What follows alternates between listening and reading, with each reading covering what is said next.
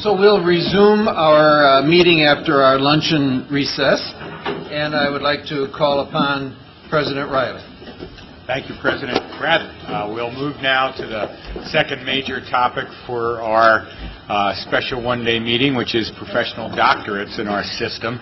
Uh, Within the last three years, this board has authorized the impl- implementation of three professional practice doctorates, all of those in health-related fields. Uh, One of them at a doctoral institution, the other two as collaborations between a doctoral institution and a comprehensive university. And several others are expected to come before the board within the next year. So uh, a little like the previous discussion where it was a broad-ranging discussion of a big issue for us without any decision needing to be made, that's true here too. This is a, a big issue without a decision to be made today. But just like with compensation where we have an immediate pay plan decision at least in December, uh, we know there will be some more of these doctorates coming forward for you to consider in the near future, so this is not just a theoretical discussion. Uh, These new degrees, commonly referred to as clinical doctorates, professional doctorates, or professional practice doctorates, are largely uh, mounted in response to uh, market demand. They've been created as a result of several factors out there in the market, broadly speaking. One of those is licensure requirements, uh, in- increasing, changing professional licensure requirements. Another is added requirements uh, uh, for accreditation in specific fields, and this board has talked off and on in the past about accreditation issues. Uh, And a third is additional disciplinary and practice depth needed in some professions to respond to emerging technologies, to a a growing uh, uh, uh, content area and knowledge base. Uh, So these professional doctorates, we think now, here, certainly nationally too, are gaining importance uh, in the, in our program array, and they are at, in in research and comprehensive university program arrays across the country. At the same time, I think it's fair to say that there is uh, something of a lack of consensus on the definition, purpose, quality, rigor of many professional doctorates, and I think you saw in the materials uh, that we prepared for you in advance of the meeting that uh, uh, there are, there's some noise uh, among those who categorize and use these about whether, for instance, they're research doctorates or practical doctorates or some combination of, of the two. Uh, Some of the questions I think we need to address are uh, uh, the role of professional doctorates in our program array in the UW system, uh, their value, necessity to uh, our students, uh, the state's need for additional degrees at this level, given its professional mix, uh, and the capacity issues generated for our institutions by uh, considering and then you approve them actually implementing these degree programs. There are, under that rubric, there are issues of mission, alignment across the system, of quality, of curricula, of faculty, of resources, of access, of affordability. So um, I think this will be an interesting uh, discussion. I think the materials that Rebecca and her colleagues prepared uh, for you to to read before the meeting were very well done and gave you kind of a very nice framework context, and I think Rebecca will pick up from there with some more background information, and then we'll have a discussion. So Rebecca. Thank you. So Kevin has kind of given you a bit of an introduction about why we are talking about professional doctorates today. I think what we want to do is to try to give you some background for the policy and administrative decisions that are facing us or will be facing us if we go, as we go down this path, some context and definitions for the discussion. As Kevin said, there's a number of practical issues that are related to this, mission, alignment, program array, the opportunity for growth, cost effectiveness, and there's some policy questions with specific reference to the comprehensives and the role that our comprehensive institutions might play in the development of professional doctorates um, for our state. We're seeing transitions in professional education across the country, um, as Kevin, and Kevin has already um, lined out some of these for you, so I'll just go past that so, and give you some definitions. Here's the, doc, the doctor's degree definition um, for a research or scholarship doctoral degree. we have, the vast majority of the 134 doctoral programs that we have in the UW system fall within this category. It requires a dissertation based on original research. Um, These are offered at UW-Madison and UW-Milwaukee, and here are just a few examples. The PhD in all of its variations falls clearly in this category, as do other um, research-based doctorates in other fields. Um, The professional practice de- degree has also been around for a long time, um, and it's currently offered um, at UW-Madison, UW-Milwaukee, and in two campuses, in two instances at UW Comprehensive Institutions in collaboration with Madison or Milwaukee. And so the JD, the the medical degree, the dental degree, and a number of others fall within this category. The doctor, um, and then there's one doctoral degree that, that, that our field is, is now kind of thinking falls in both of these categories, and that is the EDD, or the Doctor of Education. Um, there, there's, this is one that blurs the distinction. It does require dissertation research, but also is often much more applied in nature than the, the traditional PhD. In, it has increasing relevance to leadership roles in public education, so there's a growing workforce demand in some arenas for this degree, and it's going, undergoing a national reevaluation. There's a discussion going on about how, how does the EDD compare to the PhD in education, which is the degree that we have in our state. We do not have any, any offering of the EDD at this point. Professional doctorates require at least a bachelor's degree for entry, often in a related field.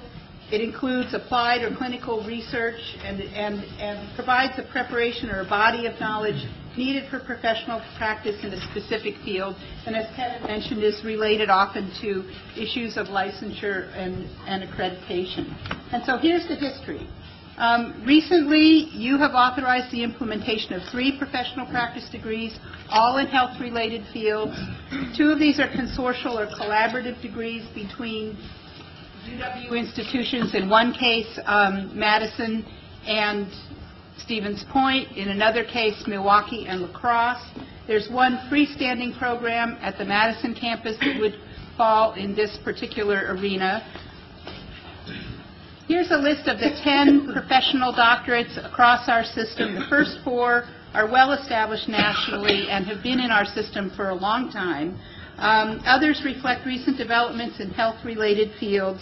And I should point out again that comprehensive institutions in our state at this point are involved only in collaborative degree programs.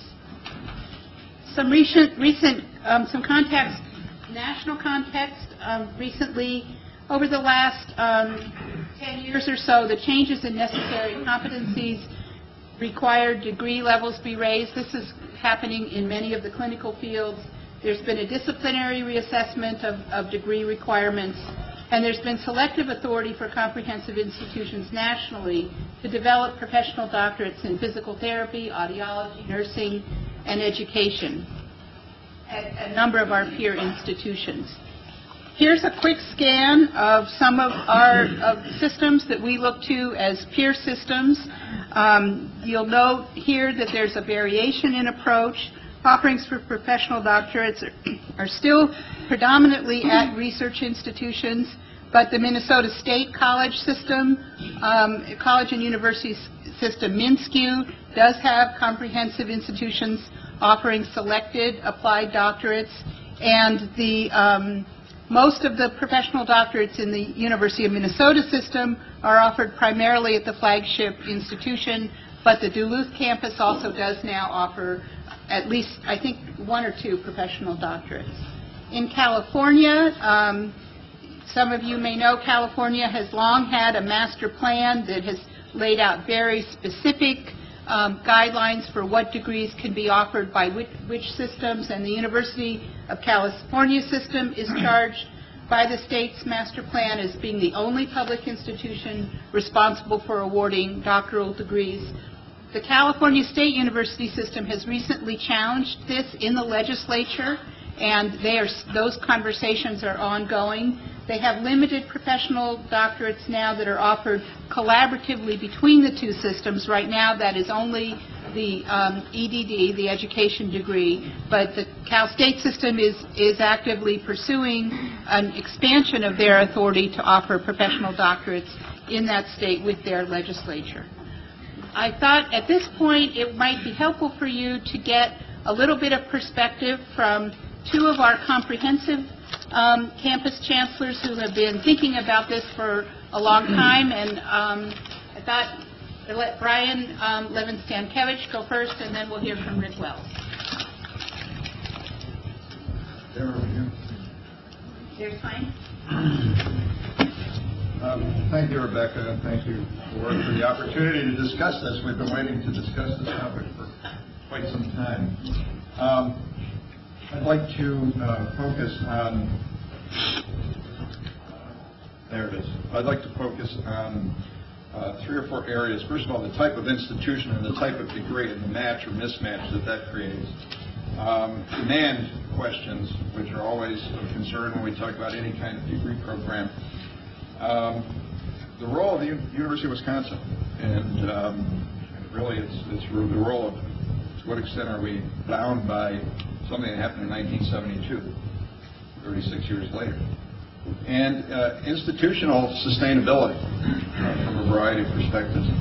Uh, These degrees, if you look at the descriptions, and if you've ever been involved in any of them, are fundamentally, primarily classroom-based degrees. And we are primarily classroom and teaching-based institutions. Um, These degrees do not require the level of one-on-one mentoring and graduate, uh, graduate student supervision uh, of research that is the case in PhD programs. Um, And, and actually are, although they were listed as high cost, uh, there a reference to high cost professional doctorates, there are some of those. There are some of them that are actually not high cost and can be very efficiently offered by uh, any number of institutions. So I I think that the kind of degree it is fits in nicely with the um, kind of work that we do at comprehensive institutions. Um, try to be, as as Rick said earlier, brief, but but it's going to be hard. Um, the other, the other nature of, of these degrees is that they are very experiential and applied. They best fit working professionals, people who are already working in their fields. And uh, those are people who are not mobile, who cannot pick up and spend six, seven years in a PhD program at a distant location. Um, and, and oftentimes uh, of an age group that, that will expect at least some face-to-face and not entirely uh, online interaction with, uh, with, their, with their academic program. We, we all pride ourselves on the connection of theory and practice in the comprehensive. This is uh, the engaged university. It's what we, what we do, what we do service learning for. It's, it's why we have internships and why we uh, connect students to their communities is to uh, engage them with applied learning. And so again, this, this fits with exactly the kind of mission we all have. Demand. Uh, There are tremendous needs of professionals. I had, uh, uh, certainly, if we look at the geographic distribution of doctoral programs in the state, uh, it stops at Madison going west.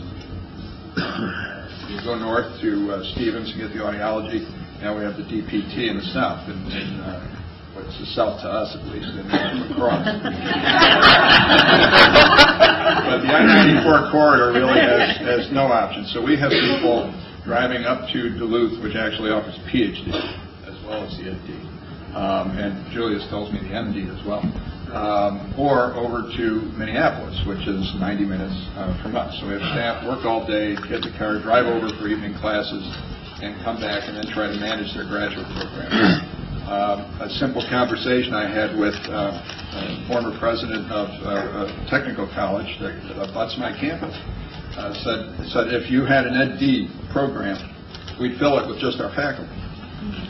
Um, And that's true of of many of our institutions where we need to elevate, uh, nursing, for example, elevate the qualifications of our faculty to a doctoral level.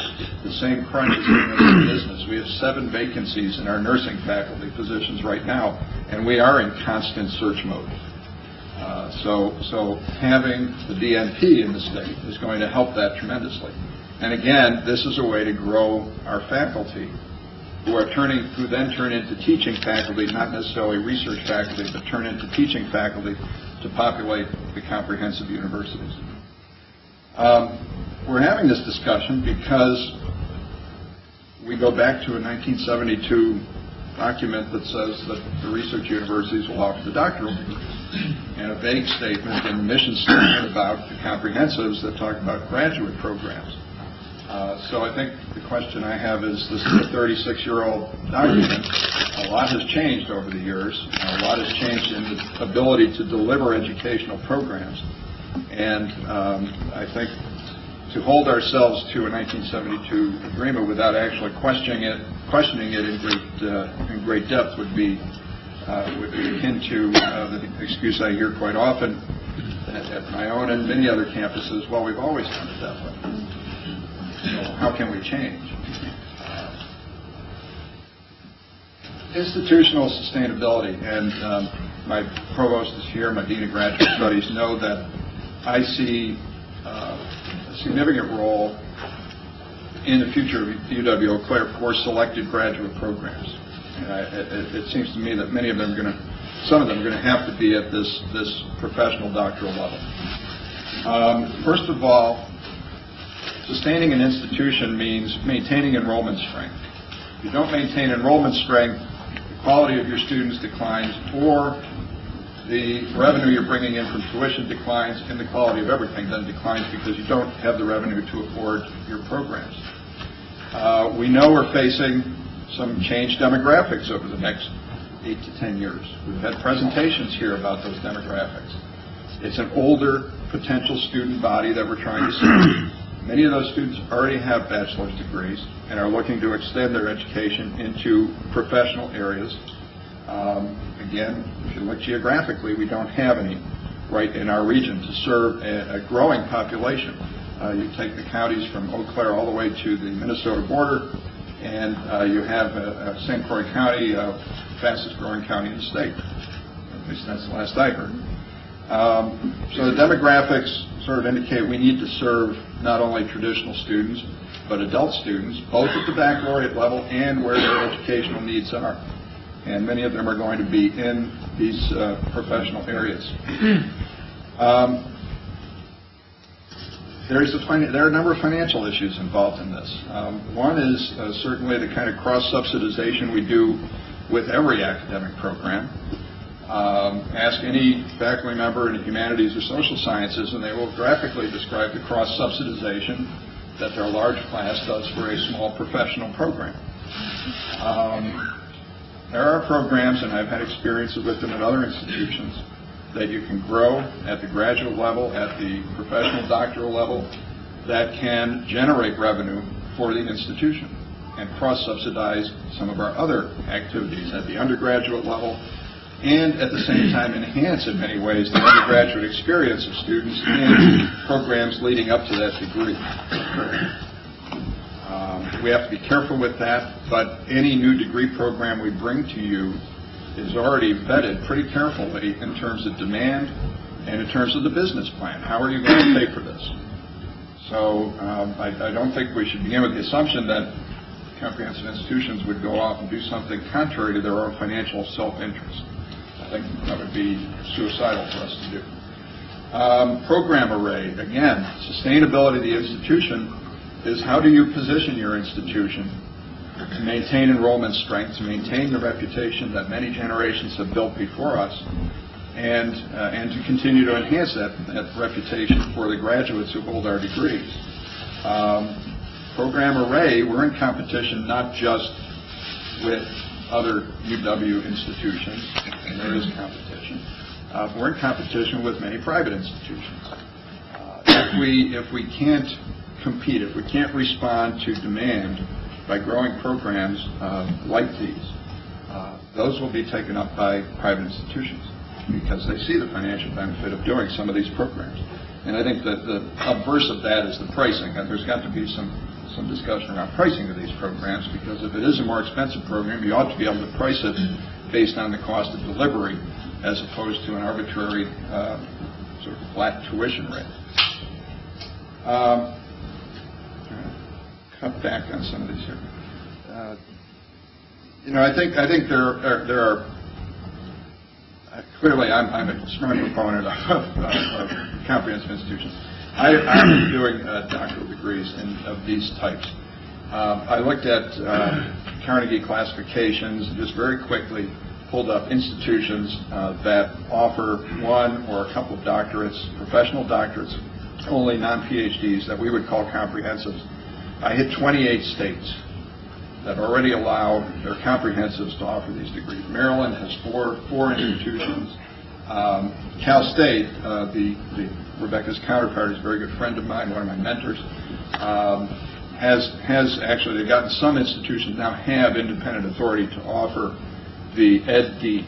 Uh, They tried a joint program with UC, with the University of California schools.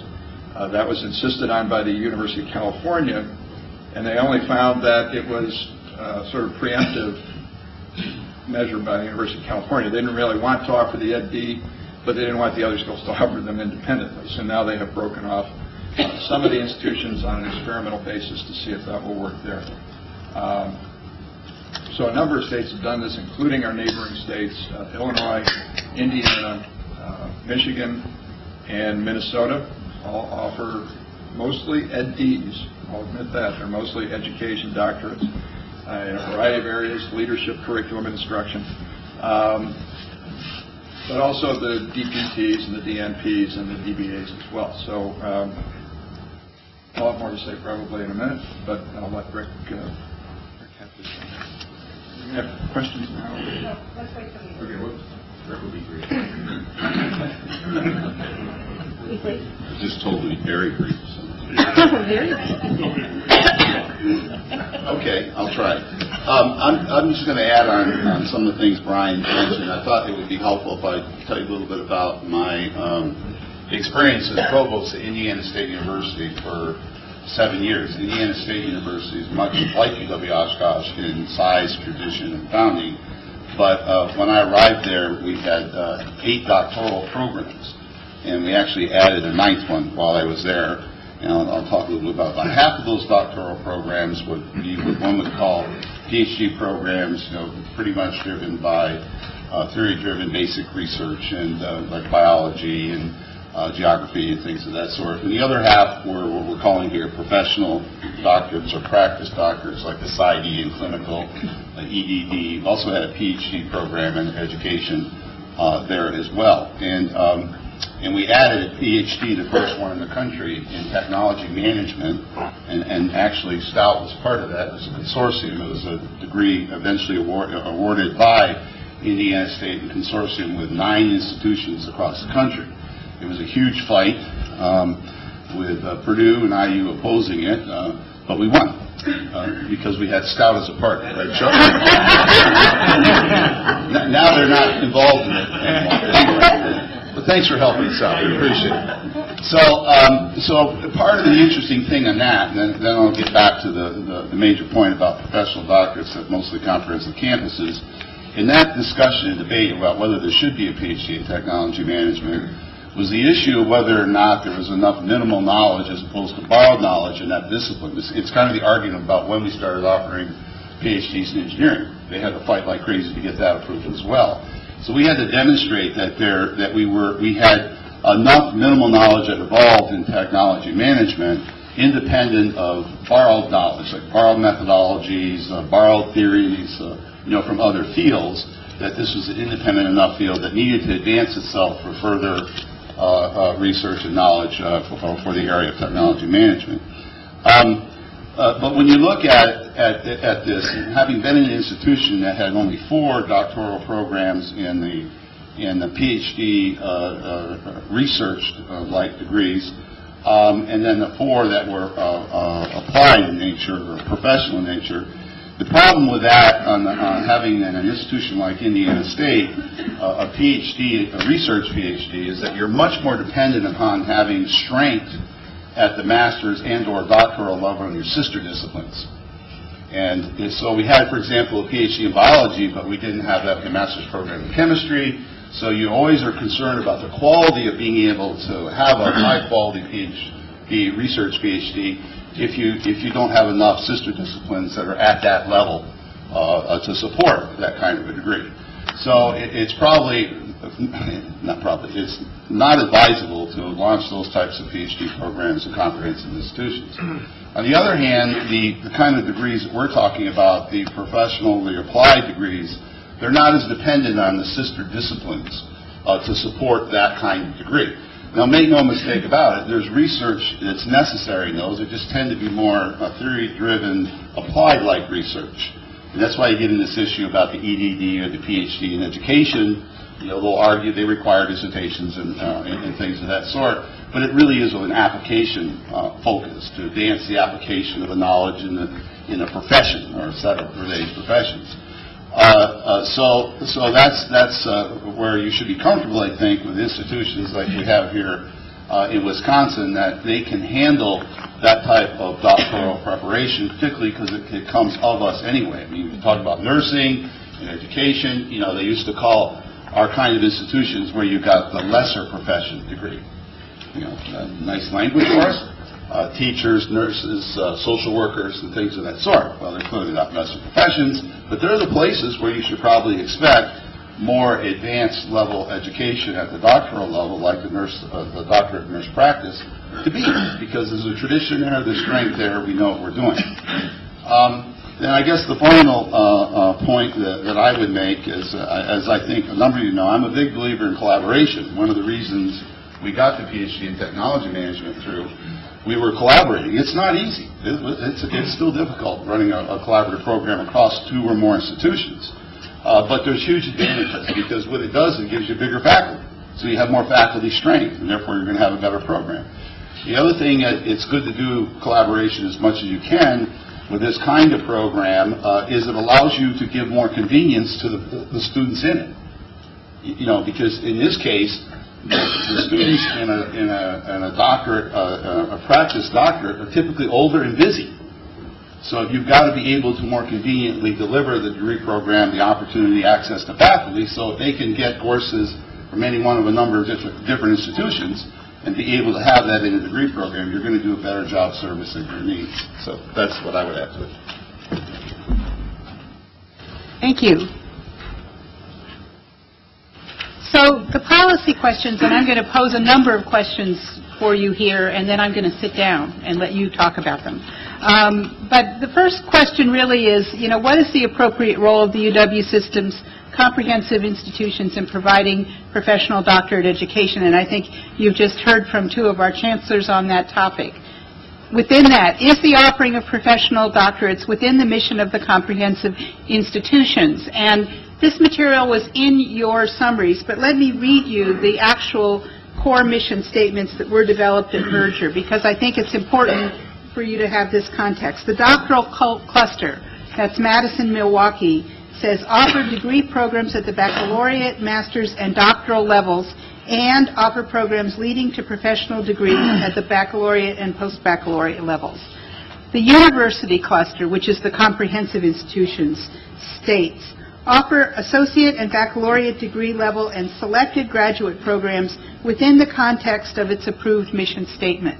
So it seems to me that, that the mission that we have from, starting back, all the way back at merger, is one that, that is not totally clear on this point. It has been our practice to limit the offering of doctoral programs to the doctoral cluster, but the, the mission statement for the university cluster, the comprehensives, would not necessarily require that we go back and change it or go make any statutory changes if we wanted to do this. But it would require that we shift the way we think about what this means.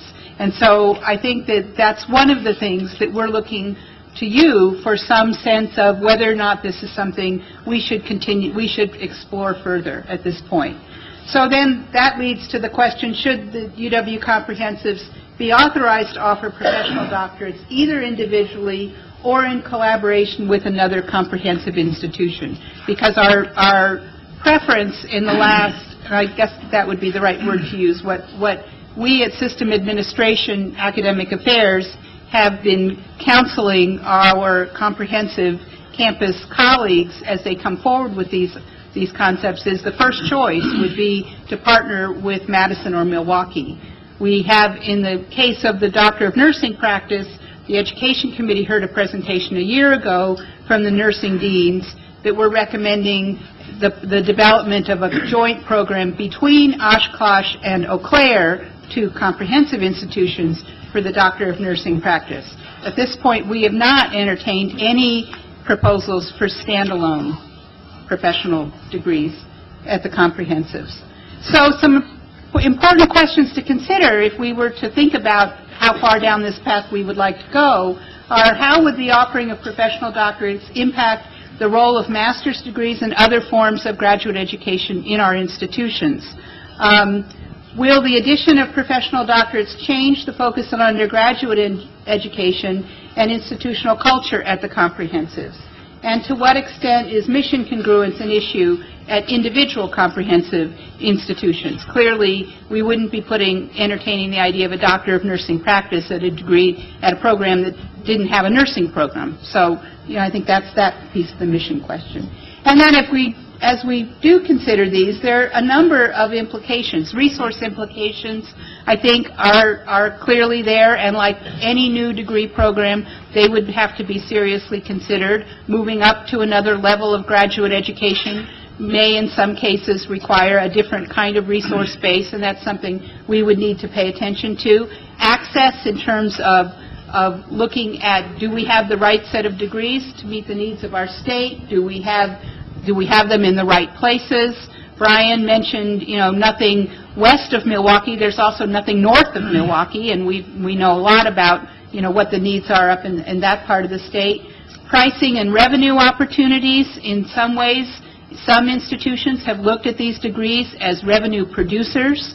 We clearly are, um, you know, have competitors in this state in the for-profit education sector that are making money offering these degrees. Is this a market we can afford to stay out of? Might be a way to think about that question. The quality issue in terms of programs, curricula, faculty, facilities, you know, at, at the doctoral level, does, do we need to ratchet that up in, in any of those areas? We would need to be looking at that. Overall institutional capacity, and then finally, alignment with the growth agenda goals. I think that there's, I can argue both sides of this question. I can argue that if we're really serious about more baccalaureate degree holders in this state, we need to focus our issues of institutional capacity and resources on that. On at the same time, if we're serious about stronger communities, more better jobs, meeting the, the workforce demands to move the economy of this state forward, we may need more people with these professional doctorates, and we may need to, to focus our resources in those directions. So tho- those are the questions. And, and again, you know, I just emphasize what Kevin said at the beginning. We're not looking for any decisions today. We do not have any freestanding professional degree, doctoral degree programs in the pipeline that, that you'll have to be asked to consider um, in the near future. Um, What we're looking for is a sense of the board on professional doctorates and whether this is an area for future exploration or not. Is this something that we might want to say, maybe someday, but not now? So, I'm going to come and sit down. You may still want to ask your questions even though you're sitting down. So that's another way to avoid getting this question. Just one, one add-on to what Rebecca said. We, although we don't have any proposals for doctorates from comprehensive institutions singly in the pipeline, we do have the one that Eau Claire and Oshkosh are working on together for a doctorate in nursing practice. And, and should that come through and be approved, that would be the first time in the UW system history, right, that a, that a That's correct. doctoral program was offered separate from either Madison or Milwaukee. Right, and that is a, that, the work that's going on, um, on that degree is, is, was um, kind of, we were given a, a yellow light, I'll say, um, a year ago by the Education Committee to pursue that. Rebecca, when, um, can you just orient our thinking a little bit? When, when these proposals have come forward to your office. Can can you just sort of walk us through the analysis that, that uh, Academic Affairs goes through, which so far has led to, no, you may not? Well, I don't think that, I I guess I would have to say, um, there's not much analysis, and it's not at the point of a full proposal. Usually that comes up in, in a conversation with a provost or a conversation with a chancellor. And the position that I inherited in academic affairs was one um, that pretty clearly delineated um, doctoral programs at the, in the doctoral cluster. Doctoral programs at the comprehensives were something that this system doesn't do. And it's really been just in the last, um, well, since 2000, or the early 2000s, that under the pressure of the, the increasing credential and accreditation issues that you've all know about in the, in the allied health sciences, that we have begun to entertain professional doctorates in any form at the comprehensives. It started with, you know, the physical therapy and audiology, um, both where we had very strong master's level programs at the comprehensives. When the credentials in those two fields moved from the master's degree being the coin of the realm to a doctoral degree being the coin of the realm, those, two of our institutions partnered with the doctoral institution to create the new doctorate, doc, practical doctor, doctoral degree in those two fields. Um, and nursing is, is the other that we have anticipated. But, um, well, Brian will tell you that, you know, when he's come and said, you know, I really want to talk about a, a, a professional doctorate at Eau Claire, you know, my answer has been, that's not within our policy. And it's, you know, when you look at the written policy, you can see there's a window there. We could drive our truck through, or, uh, that's not through a window, hopefully, but if we wanted, if we want to. But it really would be a change in the interpretation of the policy and the practice um, that's been in the system from, since merger. Okay, then, then let me ask it. Let's say that we said, uh, well, the policy's changed, and, and now these are in the, in the realm of possibility for comprehensives. Um, uh, Chancellor Santiago is not here, but uh, Rita, the provost, is here. So now give us, a, uh, if you can, a feeling of um, what's going to happen at the UW-Milwaukee and UW-Madison campuses? You know, how is the world going to fall apart if, if the policy changes? From, from the doctoral campus perspective. Well, I think maybe I'll let them answer that. Well, I, I can say that um, um, changes and redesign are, are uh, activities that our faculty are engaged in all the time. And many of those uh, changes don't come forward to you. So master's programs uh, have requirements that change, um, particularly the professional masters. New courses, uh, our accrediting agencies will ask for additional courses, track changes, concentrations, etc., even name changes that never come to you.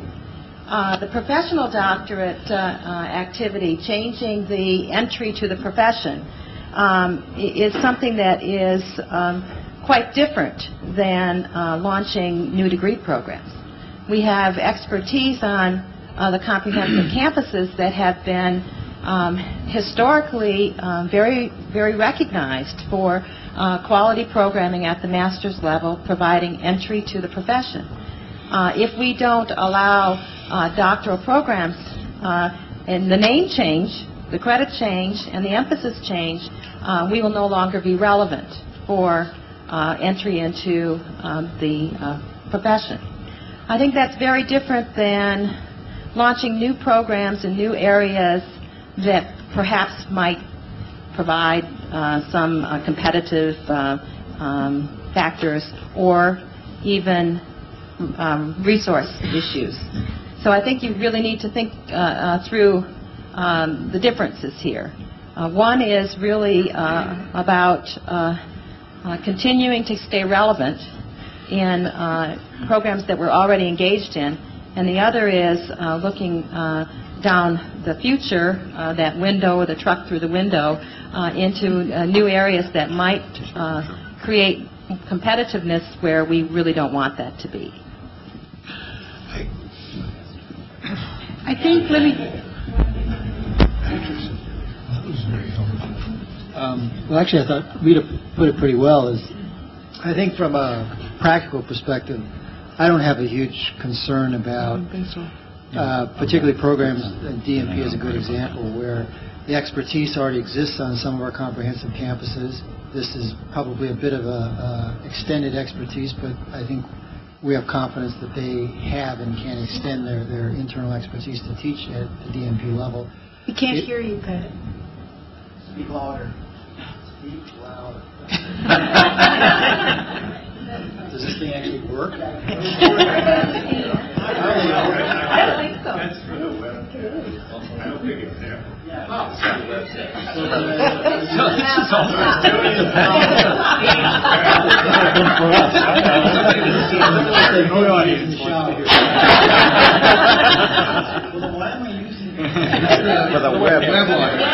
With audio streaming. Are we webcast? Different question, okay. Pat, there's a whole world of fans out there that don't even know about. Why do I not believe that? Did you hear Rita? Yes. Okay, good. Whatever she said. Um, No, I, I thought that uh, she expressed it well, is, I think, my view from uh, our perspective is that I don't have any great heartburn about uh, particularly programs for which comprehensive have been active, have the expertise to deliver programs. DNP is a good example, where those have been in the, uh, have been teaching nursing for a while, even at the master's level. This is a- an extended level of expertise that's been, that would be called for. I have confidence that they would be sure their faculty have the expertise to teach these courses. It's, I mean, in this, in the case of DNP, it's a very practical thing. They're sort of out of the business if they're not allowed to extend their programs to this level. So to me, that makes great sense. Uh, I don't foresee that there's any particular competitive problem, for example, with our own DNP program. We anticipate, again, to pick on DNP for a minute, we anticipate there'll be a lot of collaboration amongst the DNP programs. That is, we'll look for some course-sharing opportunities, some expertise that lies on other campuses we can use, and vice versa. So, in my view, for those areas where there's expertise, there's reason, there's talent already available on the campuses, I don't, uh, from, I don't see any particular reason why we should handicap them from going there. Um, Perhaps, I'm not sure this is exactly what Rita was getting at, I might have a little more concern if we're talking about completely new areas, and not to the level of saying, gee, I would be unalterably opposed, but more concerned. These could involve extended areas of expertise that perhaps aren't already present, they might be, but aren't already present, which then adds to the burden of uh, additional cost, that is, you have to bring talent to the campus to make these happen. So that, to me, is kind of a different class of of degrees. Um, But for the ones where expertise is there, and particularly has been uh, delivered on campus to students for a long period of time, I don't really see any, any particular uh, challenge for us. Uh, I expect that quality programs will exist all over. There's demand, particularly in these medical, medical areas, for more than, much more than one program. Um, So I I guess with regard to kind of what's on the table, I don't have a particular concern about those. Regent Davis, and then Vasquez, and then Smith. I think the timing of this question and hopefully a rich, invigorating conversation on the part of the Regents is perfect. Um, I think that it's awkward when you, um, you get a one-by-one, you know, either a request or official request or a hint or whatever, and you're not able to put it in the context. And so as chair of the Education Committee, I welcome the conversation that we're having. And I think that it has been well presented to us, both in the original materials, uh, Rebecca's remarks, as well as the chancellors and the provost. And I just would encourage our colleagues to weigh in on this. And I, I think we should um, um, express what are some of the I don't know, what you want to call them, guide, guideposts, guidelines, whatever, that we would be interested in making sure are present. For example, one for me is collaboration, collaboration and more collaboration. Um, but, but to give some sense of, um, from a public policy standpoint, which is our, our um, role, what, under what circumstances would we be supportive, uh, if at all, of professional de- doctoral degrees at the comprehensive. And so I guess I'm wanting to make sure that everybody um, takes this particular discussion really seriously, because we really do need to figure out where we are as anything is developed um, further. Regent Vasquez. As I was reading the materials and, and thinking about all of this, uh, in my mind, the, the questions really centered on, on two things. One, are the discussions and issues centered on two things. One was, um, to what extent uh, do we want to ensure that the comprehensives uh, remain competitive and really um, are able to continue to draw uh, a broad range of of students and um, recognize that the world is changing and that we need to make sure that they are given the necessary tools to be competitive, to be able to draw and to en- ensure that their uh, presence is, is very relevant.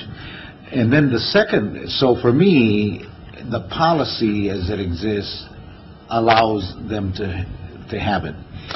The bigger question to me was, how do we make sure those, those questions are answered so that we don't have a proliferation of um, professional doctorate degree programs that we become, we have an access, and that uh, we then start to either unintentionally or intentionally not using limited resources um, well. Um, How do we make sure that uh, we don't have our comprehensives even more aggressively competing with each other? Because there is some competition there, but that it, they don't start to, uh, we don't start eating ourselves up by competing on, you know, in necessarily. Uh, That, and then how do we make sure that, um, again, those uh, resources that we have are used correctly? So to me, the greater challenge of all of this has to do more with, uh, Kevin, your office in being able to really monitor and ensure that the system doesn't start to cannibalize itself, doesn't start to um, uh, unnecessarily be uh, thinning out even already uh, precious resources, but that we do continue to have a rather vigorous and uh, vibrant uh, system that allows the comprehensive to, comprehensives to continue to be uh, competitive. Regent Smith, and then we'll get everybody else too.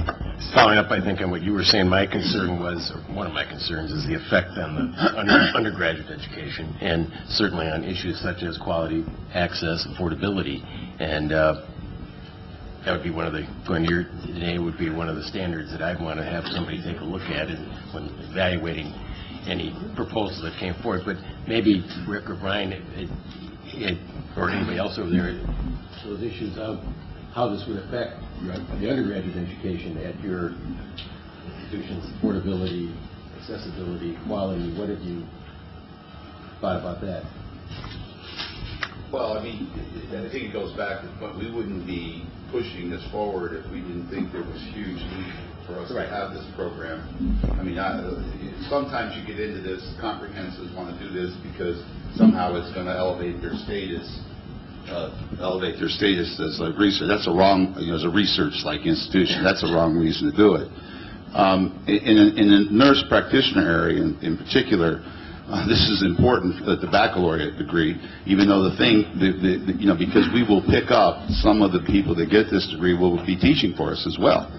And I I think our biggest challenge, and Brian and I are most worried about, getting the nursing positions filled to be able to continue to, uh, you know, deliver the demand for the baccalaureate degrees and the master's degrees uh, in our nursing programs. And this should help that, uh, uh, I think, as well. Um, And then, you know, as as said before, we're out of the business if we don't do this, so, then we just would let, I guess, uh, Madison and Milwaukee do it all. Um, But, uh, but as I, as we said before, this is our strength. These are our roots. This is what we come of, education and nursing, and uh, it's our obligation to keep providing, you know, that kind of level of education as necessary as the licensure requirements and and others go up. Um, And I, and, you know, and I I agree with Brian, too, that I I think there's some possibilities of keeping this uh, you know, as, a- as close to revenue neutral as possible, because you're, you're not talking about a lot of additional facilities or expensive scientific equipment. I mean, you've got equipment needs, don't get me wrong, but it's, it's not the same thing as some of the fields that you would go in to be competitive at PhD level, uh, you know, kind of a basic research programs can be very, very expensive. Um, uh, So I guess in summary, I think it actually enhances the- the quality experience. The the other thing is, we're going to have to do something about the competitiveness of the nursing faculty salaries anyway, and I'm just going to be flat out honest, this makes it easier on our campus to accept the fact that we've got to get those nursing faculty salaries up, um, uh, you know, if we're going to fill those nursing positions. So that's another way of answering your question about how that helps the baccalaureate program. We, we've got nine positions we're looking for, he's looking for seven, uh, and we both know we've got to significantly increase the compensation for nursing faculty on a campus where a lot of faculty, most faculty can make the argument their compensation needs to go up too. So in a certain sense, I think it helps us make that case in an understandable way in our campus when you have a doctoral program and a faculty that has to maintain that does need to be given some priority, particularly since there's huge need out there.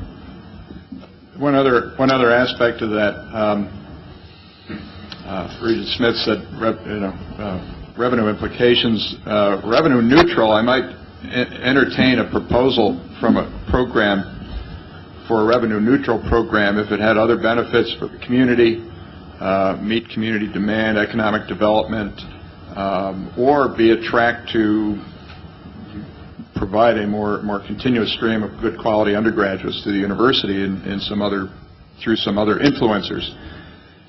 I'd want to see some revenue positive proposals. Um, and we're facing, you know, I'm sitting here, I have a draft of, of the, the, the, the initial reduction that the system's been asked to go through by DOA. Uh, who knows what the next one's going to look like? Uh, We need every opportunity we can get and every flexibility we can get to go out and generate additional revenue on our own. And these kinds of programs, whether they be somewhere at the master's level, some might be at the doctoral level, are a potential way to do it. It's not a silver bullet. It's one other tool that we can use to go out and, and, and and another thing to keep faculty, to develop our own faculty. I mean, there are a number of benefits from this. So I wouldn't be looking at a revenue negative proposal very positively within my own campus. That wouldn't even get to system. And I think I'd I'd also want to uh, perhaps uh, ease uh, Regent Vasquez's concern about, you know, we, I think we have a, even, even with the improvements that Rebecca has made in the degree vetting process and the streamlining of that, we still have a process whereby each of the campuses comments on proposals by the other campuses. And so that if there is serious uh, duplication, competitive issues, uh, any sort of cross-jurisdictional issues, those are going to come up, and, and that won't even get to the regions until those are resolved. And, and system uh, staff already do that. Um, And the same thing with, with the demand. We, we go through uh, considerable effort to demonstrate, and you all question then whether there's adequate demand for a program. Many of these, by the way, are offered on a cohort model so that you don't continuously offer the program. Uh, You offer it when the demand is there and when it's financially feasible to do so. Um, And I- my argument is that that gives us another potential revenue stream to offset the costs of continuing to maintain quality undergraduate education and continuing to maintain spaces without, without drastic tuition increases. Regent Crain. Uh, I I I was one of the people who uh, really wanted this discussion, uh, partly because I knew I didn't understand uh, the issues, and this has been helpful. Um, I especially appreciate some of what you said, Rick, about um, the importance of uh, the strength of programs, uh, of sister programs, I think you call them, within an institution, so that's been helpful. But I'm still not clear um, whether there are, when I see one of the considerations that's called for is quality, I'm not, I'm not sure what that question is, whether the- that's an issue of um, whether or not the the resources are there to provide the- a a quality program, or whether there's some other uh, factor, in- including, and I'm not sure I've some suspicion that I've heard from some voices that there's somehow a diminishing of the quality of a doctor's degree by the proliferation of the programs, if, if, if you understand that, that question. I, I, it- it's not that I suspect that myself, but what, but I'm not sure I've understood what the philosophical issues might be around that. I- The competitive ones are pretty clear to me, but, um, or is my, is my question unintelligible? Well, I, I think, I think the, the quality issue, as, as I posted here, really has to do, you know, partly with resources, partly with the depth of, of the, of the, um, the faculty expertise on a campus, the, the quality of the curriculum, all the kinds of ways that we would think about quality in a master's program or in a baccalaureate program Whether you could deliver. whether you could deliver a degree that would be worthy of the UW name. The other part of your comment, though, is one that I think that we've all wrestled with as we've watched the, the increasing number of degrees that start with the word doctor. Yeah. And there are just, as there are more of them, you know, it challenges the, the, the The aura. the the aura or the view that we've had held around the PhD for many, many years. And, and so I, I did not mean to, to go down that path in posing quality as one of the issues to be considered. I wasn't suspecting No. that you, you were, but I wanted to get it on the table. Sure. And I I think you can make an argument that uh, quality in a, in a research-intensive PhD program is different from quality in an EDD program, or certainly some of the ones that are clearly professional practice programs. But I don't know that, that we as a profession have adequately defined quality in some of these other areas. I think it's more defined in PhD level, not that it's perfectly defined there either. Uh, Regent. I'm going to make some assumptions and then have a question. And It it appears that there's certainly support for this at the levels, and that you support it. Um, I don't have a problem with, with, with Judy's question as long as you guys don't have a problem with it. Uh, And assume that if you do it, you'll do it correctly, for all the right reasons. Uh, That it'll be economically feasible. Is there any other concerns we should have? Is there any negatives that we should know about in going this route?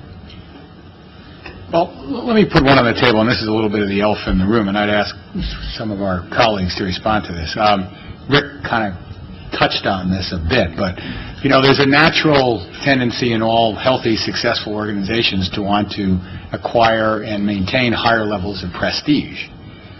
And in our business, having doctoral degrees is probably still generally thought to be one uh, kind of prestige that one can acquire and maintain. Um, one of the, the, the things I think we ought to talk through is whether or not, and, and that, the desire for prestige is a good thing, and, and it applies not only to institutions but to individuals.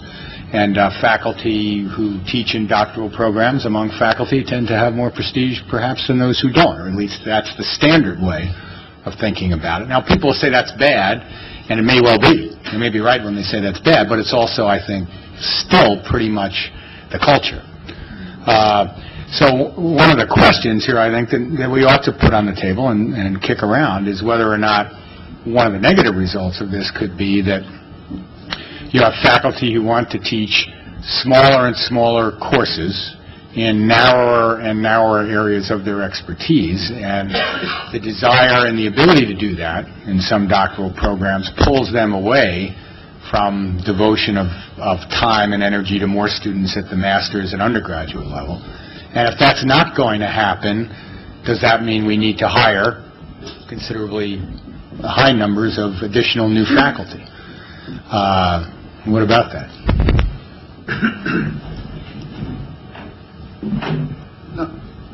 No, I, well, I- then Joe. I think um, that's why making sure we have good guidance and policy about on what conditions you're going to expand a professional doctoral mission at a comprehensive if it goes is important because you, you could have pressure to add things more and more and more when you really shouldn't do that because people are trying to make the prestige argument uh, uh, as you're saying.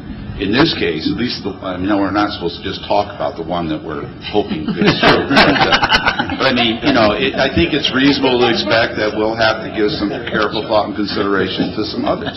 Hopefully well-argued and within the policy guidelines, like the the EDD or PhD in education. Um, That might be a little, that that will, you know, uh, lead to some different kinds of questions than this one, because we're we're kind of stuck here at a certain level, you know. Uh, th- This is a licensure thing.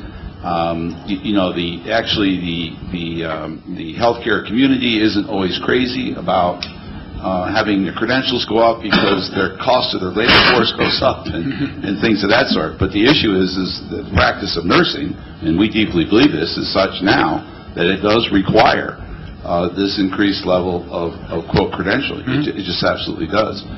So I don't, I can't see that. I could, I, I got to be honest, my former institution, I think our problem was more that we had these other types, that that was an institution that thought it was going to be research university in a thicker way, and it started these programs. Um, And then, and, and it got kind of left with just four research doctorates, and I worried more about the quality of those and how to enhance those and how to hook up with IU and Purdue faculty and things of that sort. And we did some of that to strengthen those programs. Mm-hmm. That's where you get in trouble, because then people start thinking, well, we're becoming a research university, so we're going to compare our salaries to research universities. And Indiana State was much more a comprehensive university, you know, in the positive sense of that, than a research university. So that's when you get in trouble, Yeah. is when you get in an Indi- an Indiana State-like situation.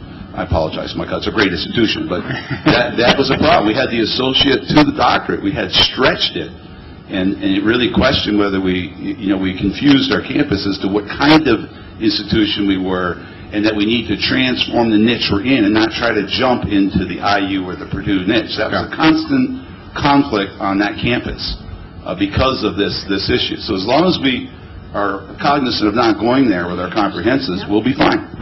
And let me say, I um, I don't want anybody to read my putting the um, issue on the table to say I'm against the idea. I think- I just think in response to the kind of questions we're getting, we need to talk through what the possible downsides are, and if we're going to go forward, find ways to put in policies and procedures that that guard against going where we don't want to go, if if we don't want to go there. Chancellor Gow. So this is going out on the web, right? I feel compelled to say hello to everybody at Indiana.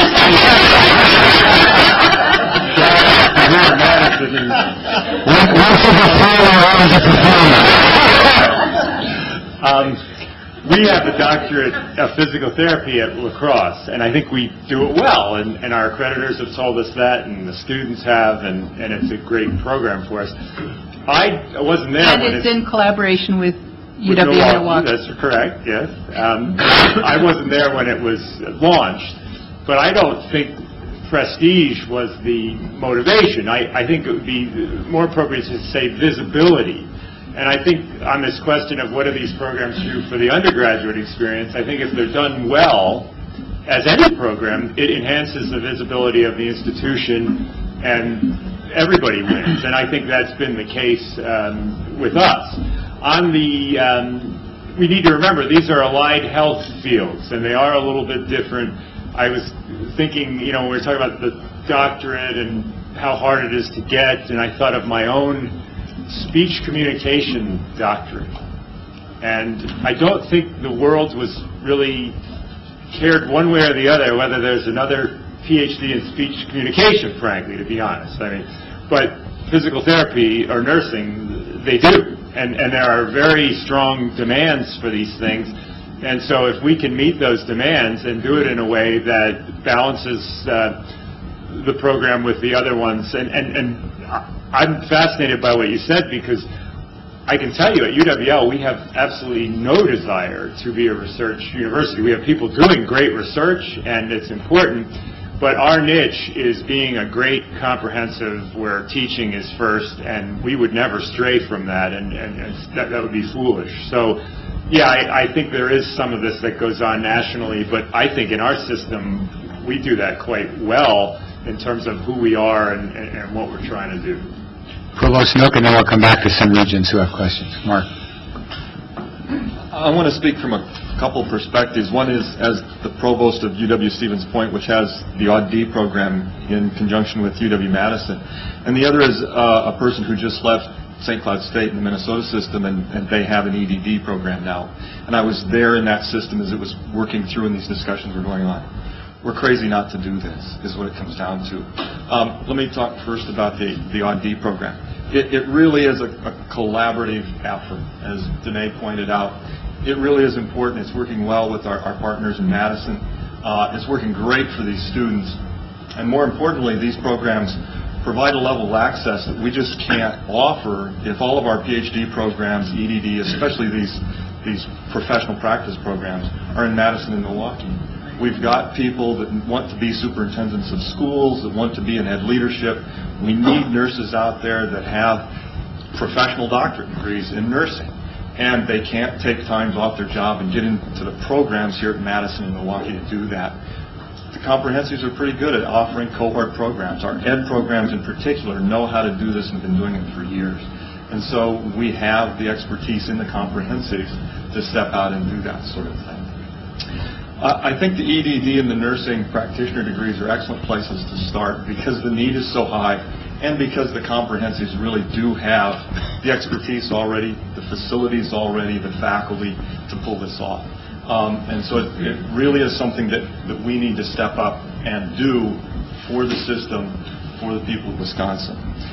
I think as we do this, we really do need to look at the impact and, and, and have a plan for how we do it. We can't let this just grow. We can't have PhD programs popping up at, at all of these comprehensive institutions. Quite frankly, none of us want to do that. Um, but very targeted uh, professional doctorate programs, very hands-on programs that serve our areas, that serve our region, serve the entire state extremely well at institutions who already have the expertise and the facilities to do that, uh, which is the case at, at Oshkosh and uh, at Eau Claire with the professional uh, nursing degree.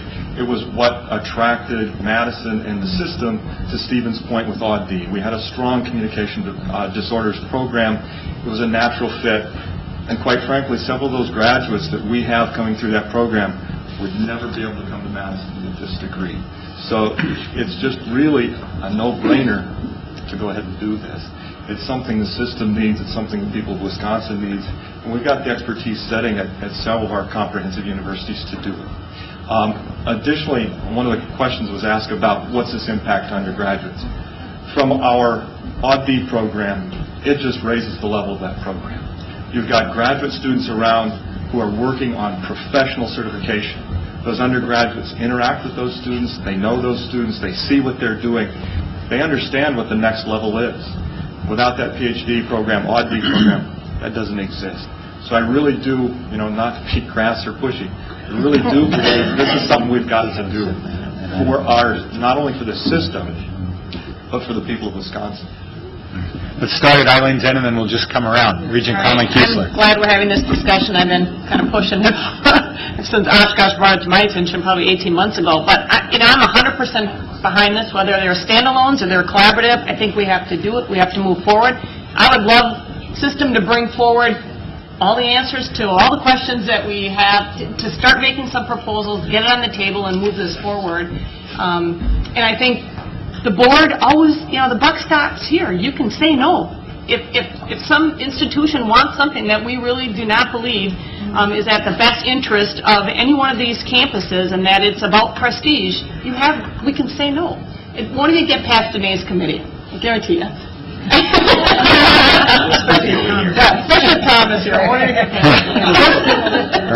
You know, I think move forward, we should be bringing back all the answers and uh, be able to get this in place. All right.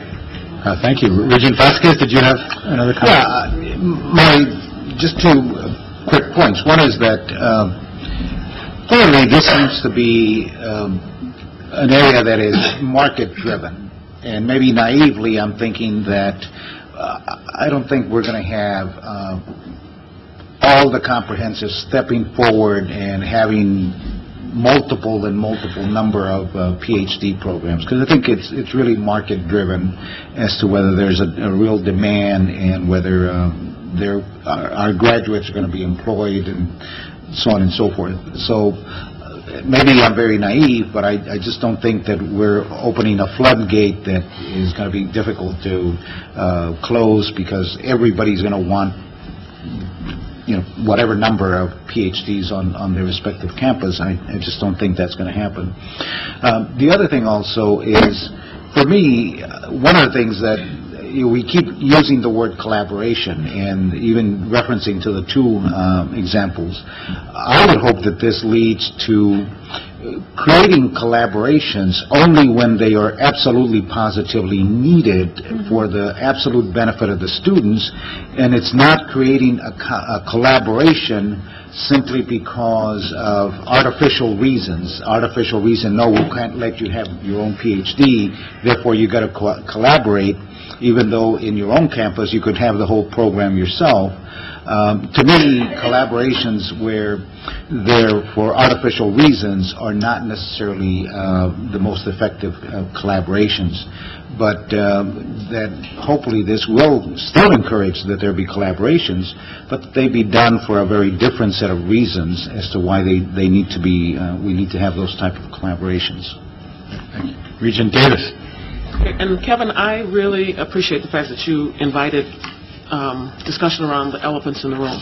So I would like to raise one. Um, And and it's a question. I don't have a clue whether this is an issue or not, but I'm I'm thinking, hopefully it wouldn't be 36 years later before we revisit whether this was a good idea or not, if we decided to do this. But in the off chance that, um, you know, 10, 20 years later, things look differently than what was originally thought, would would there be a possibility that some campuses who don't have, you know, the demand, the expertise, da-da-da-da-da, whatever may be those kind of guideposts that we would want to put in place, that there would be a feeling of them being left behind or viewed as less than, you know, um, because they didn't have a PhD in XYZ professional doctoral degree? And is that a, is that a possible issue? Is that a real issue? And if so, is there anything we should do about that? And what are your thoughts, and whoever wants to talk about it? And then the second thing I wanted to say is that let's be mindful of um, the fact that we were, as painful as it may have felt for some of us, um, the liberal arts degree guidelines that we put in place are a good model of how you can, you know, put what you want, um, to, how you ensure that what we want to have happen happens without being, uh, in my view anyway, without being overly restrictive and certainly not arbitrary and all of that kind of stuff. And I would assume that whatever we ended up doing would take that model and, and fast adapt in terms of coming up with, with the guidelines. But on the issue of the little bitty elephant, do you have any comments? Well, I'll give you my reaction, and then again, others, I think, will probably have theirs. Uh, You know, I- is there some risk there? I suppose. Uh, I- I'm kind of more convinced there's more risk if we don't do some of this for a lot of the reasons you've already heard, I guess. Um, But I think one of the things we've tried to do in recent years, Danae, is to say to the comprehensives, you- we don't, it's speaking for system, speaking for the board, we don't want you to be all vanilla. Right. We want you to be able to define your niche, and we want you to be able to to define excellence within the kind of niche that you set for yourself. So, and I I hope, I think our colleagues at the institutions believe that that's our attitude and that we have encouraged that, and I think there's evidence that we have, and I think we will continue to. And if that's the atmosphere everybody feels they're working in, then there are lots of different ways to define excellence and quality and prestige, given what your agreed-upon goals are. And that one of them doesn't have to be that you have an EDD or some other kind of doctorate in, of, uh, in the clinical area. But I, I'd be happy to hear other people's reactions. Mark, again? I guess two of us already have these degrees, and I don't think the other campuses feel like we're better than they do. Um, So I don't really see that being a big problem. But, but thank you for pointing that out for me. Uh, uh, And I I think this goes back to one of the points that's been made. It- it- It's really important that that this focus on a handful of very applied doctorate programs, and, and that, you know, it is something that we need in the state. It does mean that institution offers an EDD, but prestige doesn't necessarily go with that for the entire university campus. We see it in COMD. It's really elevated our COMD program to have the AuD program, but it really hasn't necessarily meant anything for our liberal arts degrees or conservation and natural resources degrees, and I don't think, it certainly hasn't made any difference to my standing with provosts or the chancellor's standings as well. You know, it, we have a degree, we've got the facilities to do that, so we offer it. Um, I don't really see a, a problem with that. I didn't see it happening in, in Minnesota system as we developed the EDD program at Mankato and at St. Cloud. The other schools had some things they wanted to look at, um, but they knew they weren't ready to offer some of these other degrees, and so they came along as, as sort of natural outgrowths. This system does have some really good strengths in each of its comprehensives, and we're all building on those, and it what's makes this system unique as opposed to the Minnesota system, where the comprehensives really are comprehensive, as opposed to having a focus in something that they're known for. So I see it as, as less of a, an issue in this system than I would in, in the Minnesota system. Well said, thank you. Others, uh, Chancellor Ward. Well, we, we don't really have a dog in this hunt at UWGB. Um, but we do in a way because we are increasingly taking a regional approach to higher education in the whole New North region. And I, I'm sure this wouldn't have been said 20 years ago, but Oshkosh is really a partner of ours. And so if Oshkosh can't go forward on a professional doctorate, that hurts our region. Um, and therefore, uh, I think it's extremely important that they can go forward on it. And uh, we'll work with them and support them as best we can. So it's, it's really a regional issue, I think. And um, maybe someday we'll have a professional doctorate in environmental management come back to you and say, we want that. Uh, but it's not there now. I don't think it diminishes us. We feel the same way about Stevens Point. Thank you. Um, I- Uh, Regent Keen. Oh, Yeah. okay. Thank you. Um, So many good points made by so many people, chancellors, provosts, regents. Um, For me, one of the pros of going ahead with this is number two on the list up here. I think it'd be number one on my list, is accessibility to people around the state to be able to get professional doctorates without having to go to Milwaukee or Madison. Um, it just, I know, like even in my own life and in a lot of my friends' lives, it would have made a difference to have something more convenient. And, I mean, there are for-profits out there right now online offering uh, PhDs. Um, like Eileen said, we should go for it now because somebody else will. Uh, it, maybe it will be, you know, um, well, it's going to take us a little bit, but I don't think it'll be a, rev- I think it'll be a revenue producing for our state. Um, besides for the campuses, but for the state as a whole and our economy, to see people to be able to go forward in their professional lives with these degrees. Um, a richer academic environment for all students on the campuses that offer the professional doctorates. And I think, Kevin, you mentioned by having that, those advanced degrees on campuses, it draws people to those campuses. And we just got done talking about what we could do to enrich our faculty, um, faculty's lives maybe by offering them the opportunity to offer PhD degrees on their local campus would be another drawing point, point for retaining our faculty um, throughout the state.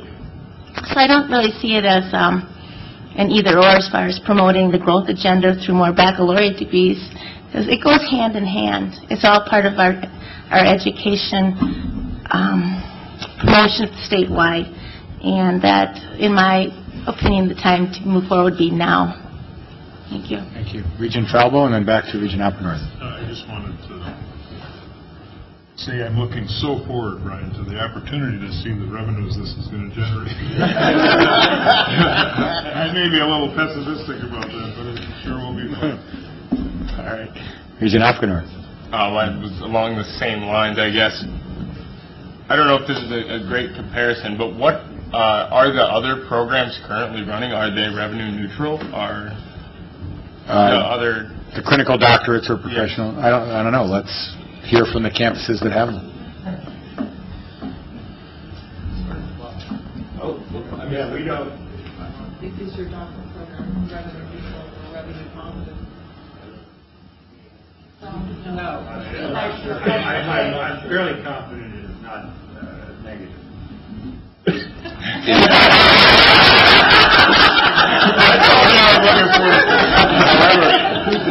In the case of nursing, what I, I can tell you, it's not at the doctoral level, but it, it reinforces Brian's point, and I think a number of you know this.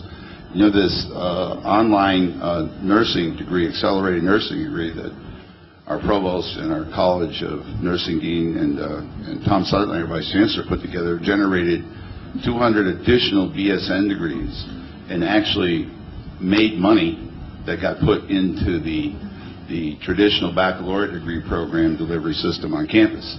So there is demand, where there is demand in the industry, I think that's Ryan's point, that they will pay. I mean, you say, well, how can a student afford to pay, I think on that program was $28,000 or $29,000? Well, the student wasn't paying it. The healthcare industry was paying it. Mm-hmm. So, you know, so there is some possibility, but I, I wanted to be a little less aggressive on, uh, on the revenue side of it. Uh, I, I think, though, the, the question about the re, the, the professional doctorate one isn't as big an issue, but I think at some point, what we all need to struggle with, a much more complex and very important thing, is the research mission in the UW system and the different ways it's delivered. Now, Oshkosh is not a research university, but we do research.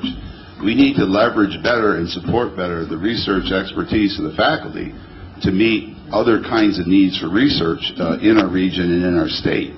Uh, That's, that's a different discussion, but because we get a lot of pressure, uh, and I thought that's where David Ward was going to go, and I know David Wilson's made this point a number of times.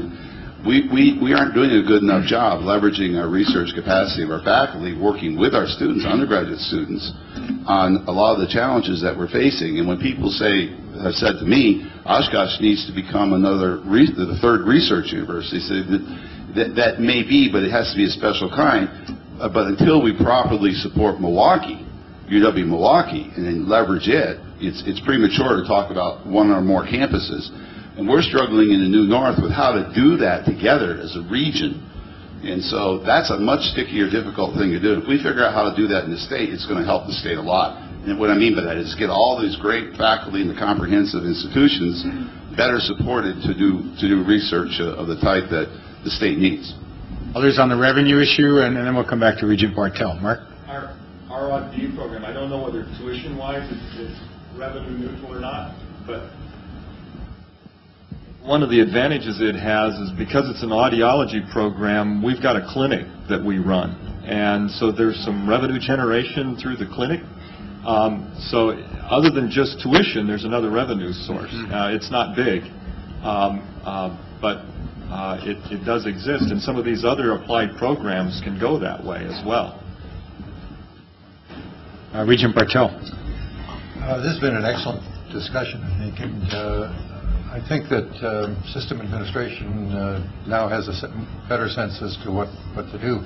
And I I suspect that Rebecca's been making notes, just as I have it, uh, of the elements that we're, we're trying to pick out of this discussion as to how to evaluate uh, applications for uh, expansion of uh, doctorate programs, comprehensives.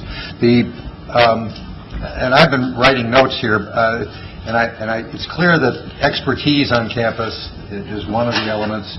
Um, This matter of revenue neutrality, or whether, what the financial effect of it is, is another. The uh, demand for the degree is certainly one. The, the one element that I'm not clear on is this idea of collaboration. What, what are the components of collaboration that we should be looking for as these programs come forward? And, and I, I- I don't know who should answer that, but that- I I understand what, generally what collaboration is, but what are the elements of that in this context? And I bombed and... I, well, I asked Danae, but I, I, I...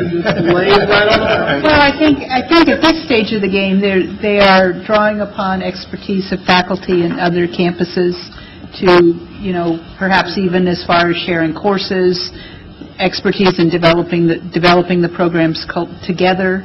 I think the Doctor of Nursing Practice is a good example of, of um, a set of pr- program proposals that are coming forward that began as a conversation among all of the nursing deans about, you know, what should these look like? How should we be developing them? Should we do it together? Should we do it independent of each other? Where does it, where does collaboration make the most sense? You know, and where would it be better to, to have a standalone program, but still draw upon the expertise in different areas? And so I really think that it, I, I'm sorry to say it depends, but I think that, that it's, like all of our programs, we want to, as um, Regent Vasquez said, make sure that we're not just putting up an artificial barrier and saying you have to have collaboration so that you have the right set of institutions involved. We want to have collaboration that's meaningful, that really makes a difference in the, in the quality of the program. So the collaboration that was involved here could simply be collaboration in the planning and, and development of the program, not necessarily offering courses in one place or in, and, and other courses in another. Is that It, right? it could be a number of different things, yeah. I mean, one thing that occurs to me in response to your question, Jeff, is that the, uh, one of the advantages that uh, a Madison or Milwaukee has when they now graduate programs is they tend to have larger departments and people who are therefore specialized in certain areas in a discipline at a, at a depth. And, and some of the comprehensive departments aren't that large. You mightn't have then access to certain kinds of specialties within a discipline at that one campus, whereas if, if two campuses were offering the program together, the graduate students, in this case indeed doctoral students, would have access to specialties that they're particularly interested in or they believe they needed for the kind of practice that they wanted to do at the other institution that they were collaborating with. One kind of collaboration. Yes, Brian? Well, Yeah, I think, I think there's um, considerable latitude for collaboration. There already is quite a bit of collaboration. Uh, We have a a consortium that offers an online MBA program. I think it's five institutions. um, That is very revenue positive. Um, And, uh, and, and the courses are offered where the expertise is, and so, and it's online, so it's easy to do that. Uh, We do run into some technical issues here, though, in terms of degree granting. And whether a degree is consortial, and whether the Higher Learning Commission of the NCA will even allow that. And we have now run into that problem with our, or our MBA program, um, and it comes down to them asking simple questions like who admits the student, who advises the student, who transcripts the program, um, and, and they want an institution to be responsible for that degree. Um, Or each one will be separately accredited. So, so there are issues there, and those are some of the, some of the discussions we've been having around the doctorate nursing practice. Uh, We need to work those out so that our individual institutions don't end up sort of getting on the block with the accreditation authorities and the De- Department of Education, because then, then that reflects badly on the institution. Um, So I think there's a, you know, a kind of a rationality we certainly want to create within the system and the use of resources. Uh, But the market isn't always rational, as, as we certainly know now.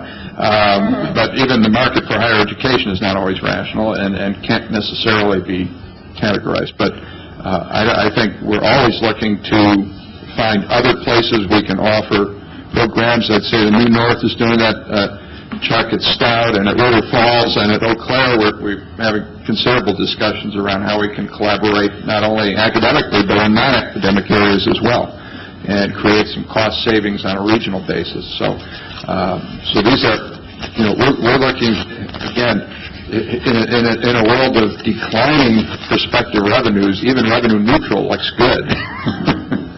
Provost Cheng, did you? Um, Collaboration also could take, uh, um, and has uh, a uh, a form of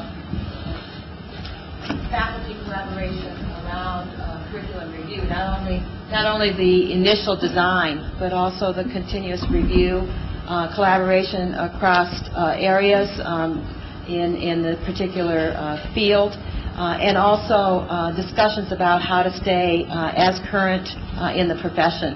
The um, health professions, nursing, um, DNP, uh, occupational therapy, et cetera, uh, are all facing shortages of faculty. So uh, designing these programs uh, uh, uh, in a very efficient way is really important, and continuing that collaboration uh, and conversation across the campuses, I think, will be important. Thanks, that's very helpful. Mark? I think the other, we've talked a lot about collaboration within the system. The other sort of collaboration we need to realize, especially with the applied program, is collaboration with clinical sites and with school districts and things of that sort, so collaboration outside of the UW system with our applied partners.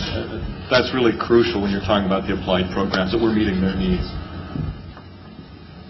Any other uh, questions from regents, other colleagues, reactions? Well, uh, we are getting 10 minutes away from, I think, when we're supposed to end. Uh, You know, I... I- No, no, no, you're at the end. We're at the end. Yes. 2:20? I thought it was 2:30. 2:05? The, um, uh, I'll do this quickly. Uh, uh, I hope that, that, that the regents and, and all the colleagues who were involved in, in participating in this felt this has been a good day. I mean, I think, Very much so. Very in much my mind, this is the kind of thing we hope to do with these meetings when we decided we would go this, this route. So uh, if, uh, and I want to thank everybody who participated, and if you liked it, uh, tell President Bradley. If you didn't like something about it, tell me, and we'll fix it. That's You like that program, don't you? You can tell me. You can tell Bradley. Back to you. Okay, thank you very much. Um, yeah, you know, This is uh, um, primarily designed as this, uh, the detailed discussions for us, because we ultimately have to make the decision. But I, I think that you, the you know, the people who are going to recommend something got as much or more uh, the questions that we ask, the responses, this kind of dialogue. And, and I can, you know, everybody knows, if we had a resolution on the table today, we never would have had those, these types of discussions. So, very good. And, and I, I it's, it's interesting how um, the, these issues overlap, and they just roll up to this great big enterprise that we have the, the challenge to administer on behalf of the public. Let's take a break until 2:30, and we will start right at 2:30 with uh, Brent Smith's report on the Business Finance and Audit Committee. Gee,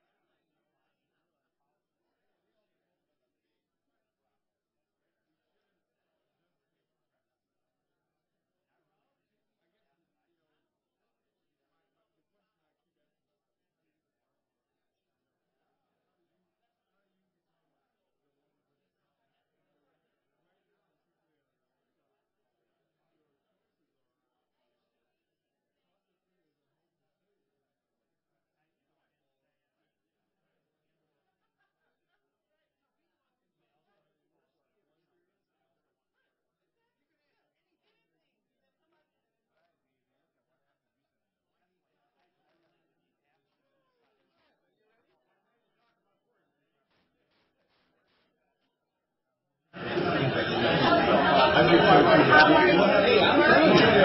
ready. Awards. I would now call upon Regent Swett to present the report for the Business Financial Audit Committee. All right. Wow, look at everything. I should just hush. Our committee met at 8:18 a.m. this morning, and uh, we first looked at the UW Oshkosh pouring and vending rights contract with Pepsi-Cola. We we approved the five-year contract with Pepsi-Cola, and that provide pouring and vending services to UW Oshkosh. It's got a two-year option on it. Um, This was, I think a lot of the inquiry this morning was the student involvement in the approval of the contract and what the money going to be used for. We used that criteria before, I think, in looking at some of these contracts.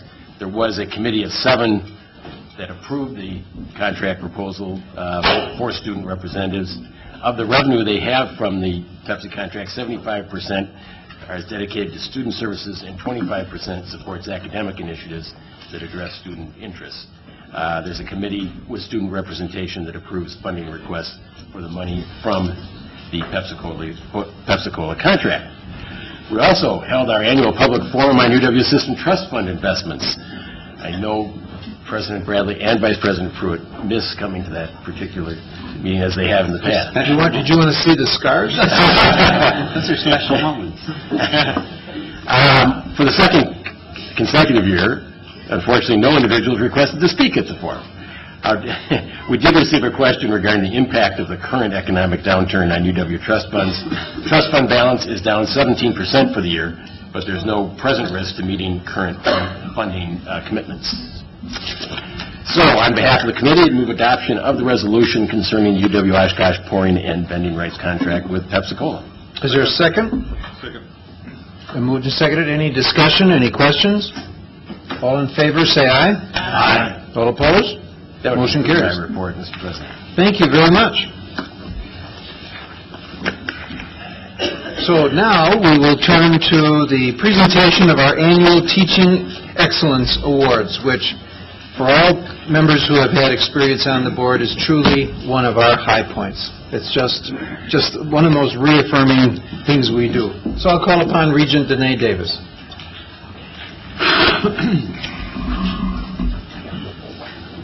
Thank you, President Bradley. And I am so thrilled, as I always am, um, to be a part of today's presentation of the Regents Teaching Excellence Awards. And I'd like to extend a special welcome to our award recipients, Professor Heil from UW Oshkosh, um, um, Professor Split from UW, did I do that right? Yes. Okay, from UW River Falls, and um, Professor Bendel, who is representing the UW Stouts Department of Math, Statistics, and Computer Science. I know that there are um, wonderful uh, cast of loved ones, family members, friends, and colleagues who have supported the endeavors of our honorees today, and I want to say welcome to all of you as well. As we've done for 16 years now, the Regents today conferred three awards, two individual awards and one department program award. And as always, our challenge was a good problem to have, choosing recipients from among an excellent pool of candidates representing the true excellence on our campuses. This year's selection team included Regents Bartell, Drew, Vasquez, Thomas, and Womack. And though one half were new to the task, the uh, richness of the discussion made our process both fun and fulfilling. I'm also, I'm sure I can speak on behalf of the other region committee members as well, that we love being a part of this process um, and celebration. Among the nominations of so many outstanding teachers, we looked for nominees who were deeply committed to understanding and learning in their students. We sought for evidence in the student support letters that these individuals had indeed changed lives. And while these dedicated professors developed different techniques to create effective teaching skills and to foster learning, they all demonstrated a remarkable sensitivity to needs of their students and a commitment to high standards. So we feel proud of our tradition of celebrating inclusive excellence. And in our efforts to foster intellectual and economic growth by preparing capable citizens in Wisconsin in, in our public institutions of higher education in the state, we continually seek improvement. And these honored uh, professionals prove beyond a shadow of a doubt that we are worth every song. We deliver what we promise. We create an environment in which students from various backgrounds, levels of education, and various talents and passions for a specific discipline, whether it's in film studies, math, or agriculture, receive the education they need and want. As we grow the number of baccalaureate holders, uh, degree holders in our state, we want all citizens to proceed toward a better future and to share knowledge with their communities. Knowledge is power indeed, but knowledge is also compassion, sharing, and care for each other wherever we are in the state. That is truly the Wisconsin idea. Regents Bartell and Thomas will now introduce each of the individual winners and present to them their awards. And after each, uh, each regent presents the award and finishes um, his or her remarks, each of the awardees will take the podium to address the board and our guests with remarks of their very own. So you all see the profiles of our award winners, um, and without further ado, I believe it's Regent Bartell. Thanks very much, Danae. Um, I want you folks over here to know that there are a number of pleasures that the regents get. One is that you get to wear this little pin right here. Another is we get a wonderful box lunch once a, once a month. But uh, more seriously, uh, we, we as a group can uh, directly affect the lives of 170 plus thousand students uh, around the state. And uh, more significantly for today, we have an opportunity to observe on a regular basis the skill and creativity and passion and dedication of those who teach our University of Wisconsin students. There are many, many faculty and staff throughout the system for whom teaching is more than merely a job. It is a life-fulfilling mission uh, with many rewards that are often more psychic than monetary, as we know. While we see and appreciate the talents and devotion to education of teachers throughout the UW system on a regular basis, today is the day on which the Board of Regents of the University of Wisconsin system expresses its deeply felt appreciation and admiration of all of the great teachers of the UW system by honoring some of the very best. Now, uh, as Danae said, we first will recognize Professor Douglas Heil, Professor of Communication at the University of Wisconsin-Oshkosh. And Doug, I'd ask you to stand while I say a few things about you so that uh, you can look embarrassed. And uh...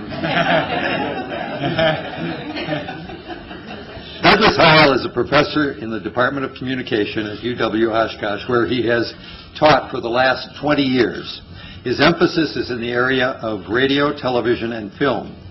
He has written extensively with numerous publications at the national level, including a much heralded uh, book called Primetime Authorship in the area of creative screenwriting. He has received uh, more than a dozen grants. Uh, he's written and produced uh, three award-winning short films and a theatrical musical uh, that includes a number of award-winning songs. Is Joe Gow still here? We would love to uh, perform those sometime if you give us an opportunity.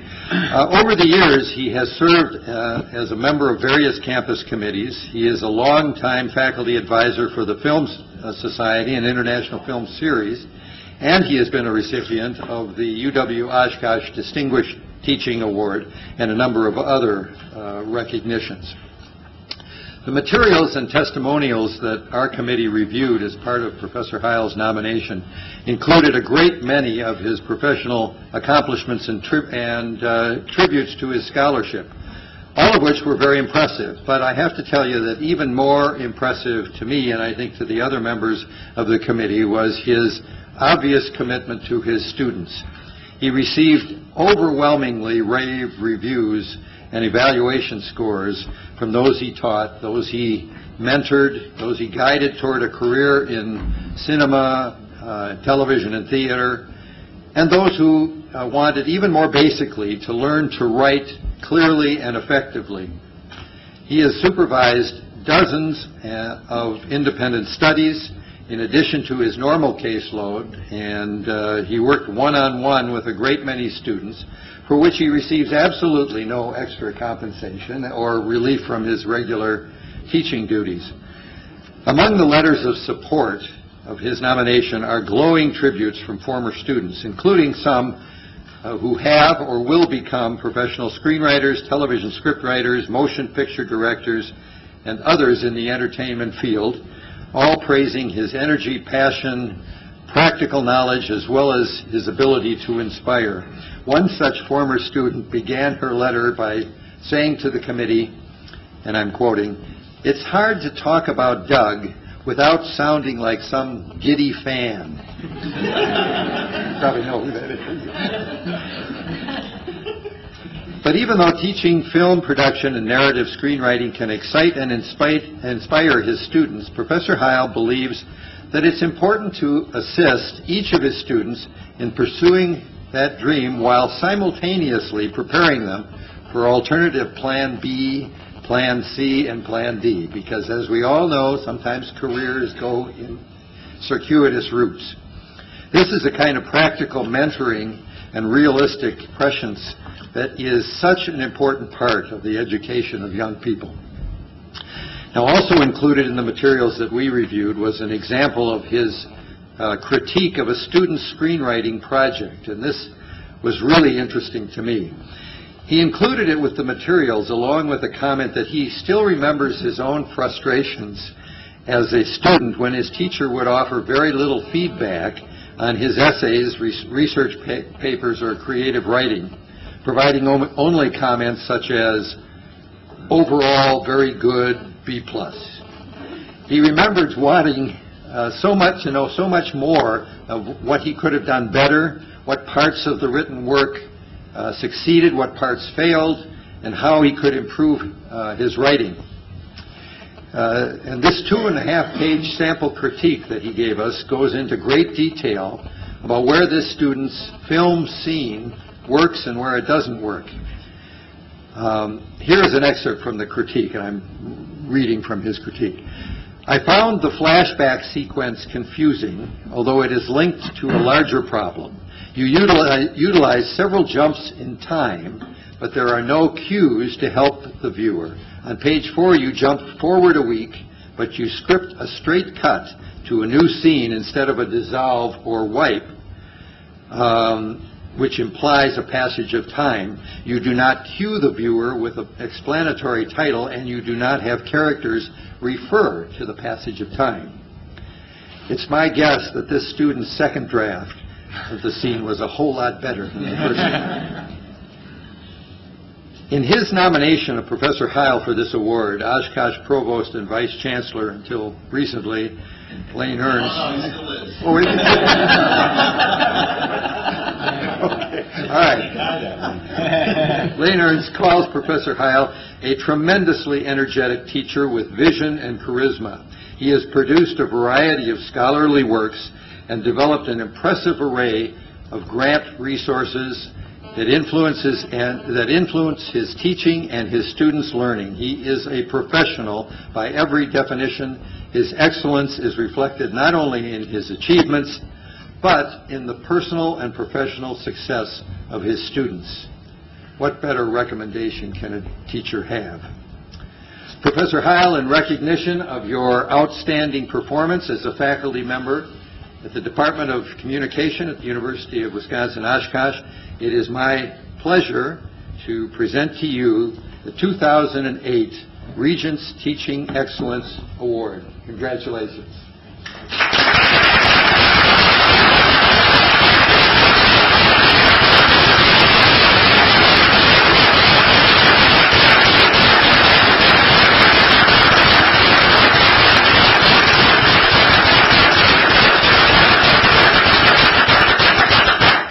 You. Thank you very much. I'm deeply honored to be chosen for this award and would like to express my gratitude to the Board of Regents, the UW System Office of Academic Affairs, and the Special Regents Award Committee. As a matter of fact, it took some time before I became a teacher.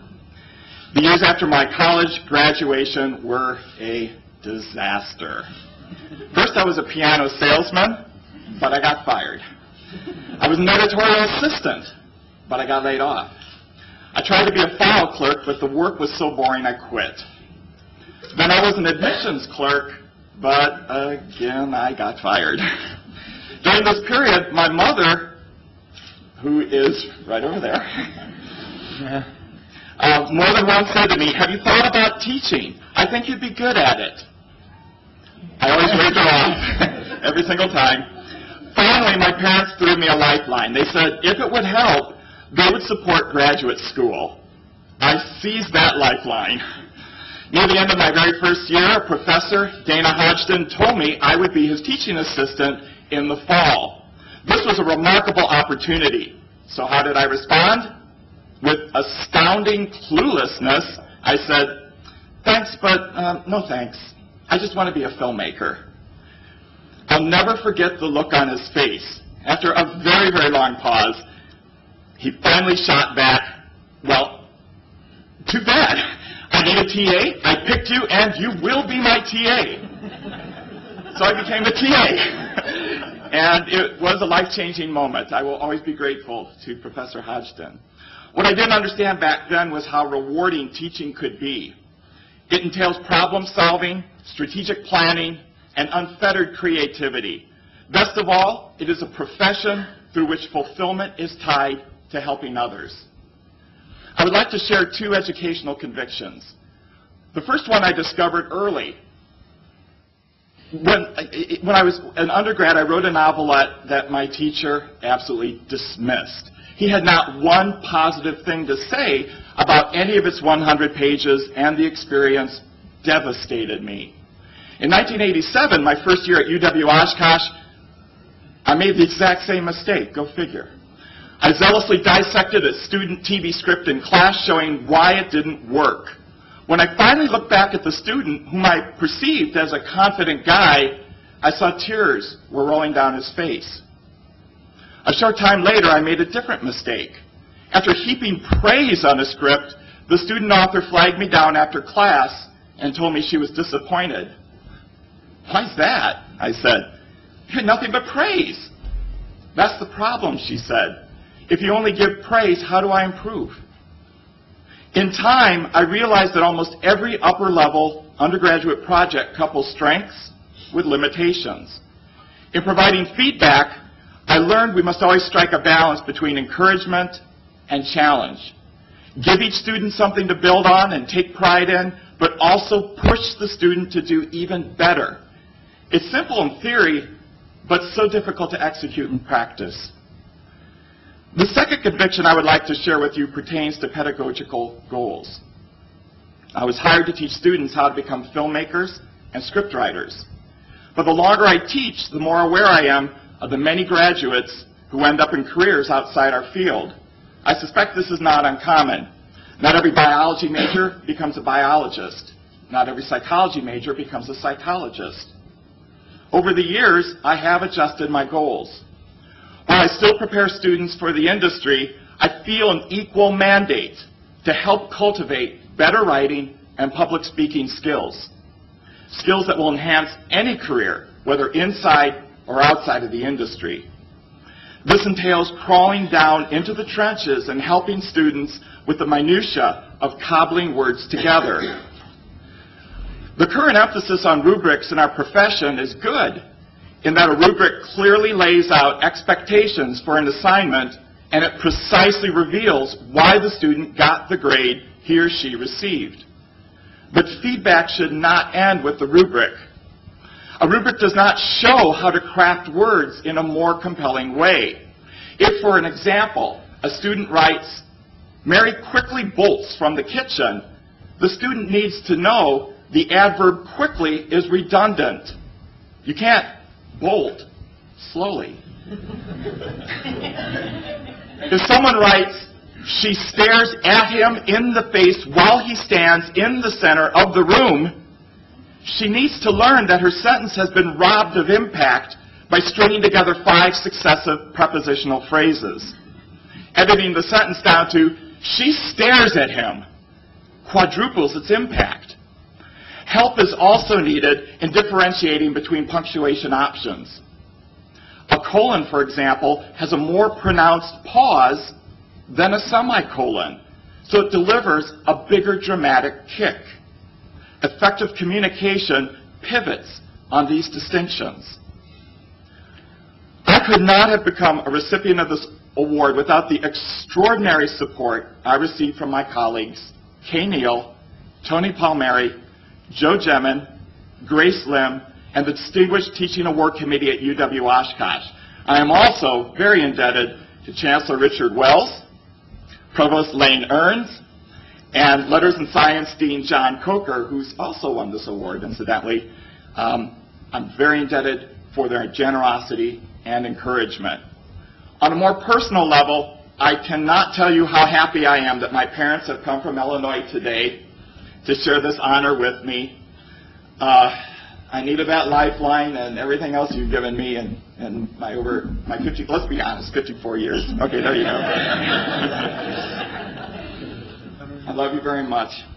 Finally, the limitless patience and limitless love of my daughter Stephanie and my son Stephen and my wife Diane have provided me the most bracing, wonderful sustenance, enabling me to conduct the close analyses and thorough responses I believe student work deserves. Thank you very much.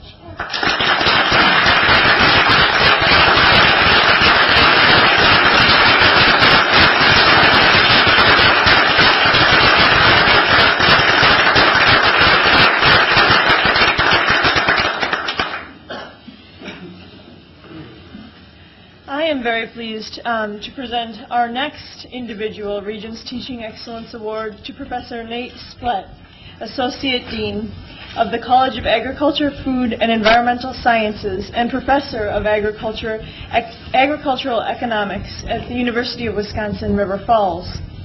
A warm welcome and congratulations to all family members, supporters, and colleagues who are here today as we celebrate Dr. Splett's significant contribution to higher education in Wisconsin, and especially his tireless um, attention to student success. It is a special honor to serve on the selection committee for these Teaching Excellence Awards because it gives us a unique and compelling picture of the education that daily marks the value of the UW system to individual students, to the advancement of the state, and to the furthering of thought. Teaching is no simple task, and it is hard, hard to fully fathom the impact a professor and a mentor can have on a student. Thinking back about mentors who stand out in our own minds, I'm sure that we can all find a handful of people who really shaped the direction we took in our lives, and that, that sticks with a person and, and encourages them to, to go farther and, and challenge themselves. Um, Professor Splett received his bachelor's and master's degrees at River Falls and then uh, attained his, his doctorate at the University of Illinois. He has mentored many young people in, in his career as an educator with UW Extension, then as a professor of agricultural economics at the University of Wisconsin River Falls, and now in his role as associate dean. Um, he's also received many numerous teaching awards um, both at the institution and from um, professional organizations dealing with his craft. I have a quote here from a student of his, um, Michael Brenner. Maybe it's not a student, someone from the community at River Falls, um, who says, It seemed like without trying, Nate was able to keep the attention of all students at all times. When time had expired for the day, everyone was left yearning for more. Somehow, the minutes seemed to tick by faster in his classes than in others. And I'd like to remind you all that these are economics classes. In fact, I am currently enrolled in an, in an economics class, and I was wondering maybe if you could give me some mentoring after our ceremony.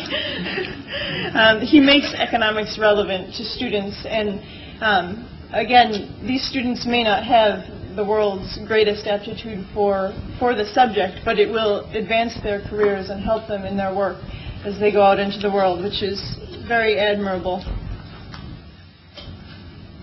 Our committee was especially taken with the way Professor Splett articulated his philosophy and approach to teaching.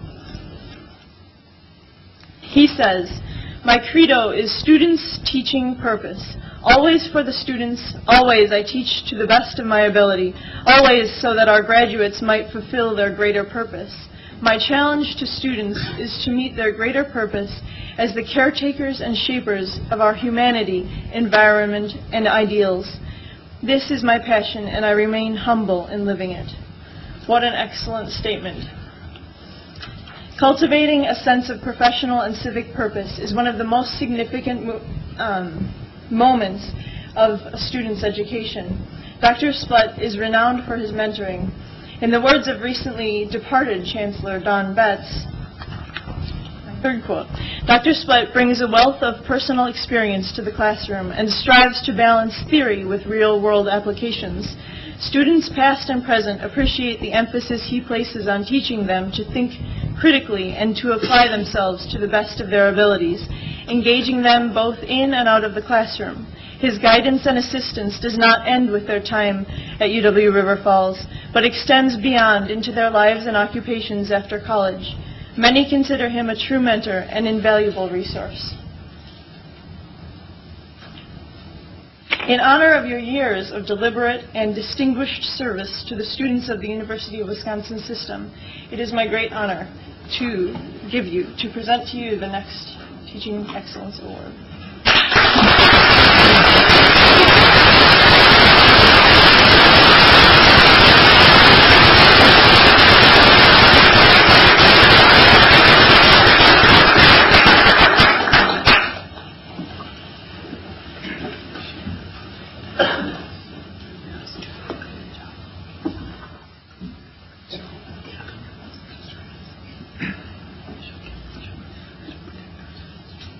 Thank you, Regent Thomas. Kent Meyers, in his book, The Witness of Combines, talks about fall plowing. One fall, I stood with Dad just after we'd finished fall plowing, looking over the blackened land. I felt great satisfaction having the job done, and I said so. yes, Dad replied, but it's no good. I didn't understand. I thought having the work done was an automatic good. Excuse me.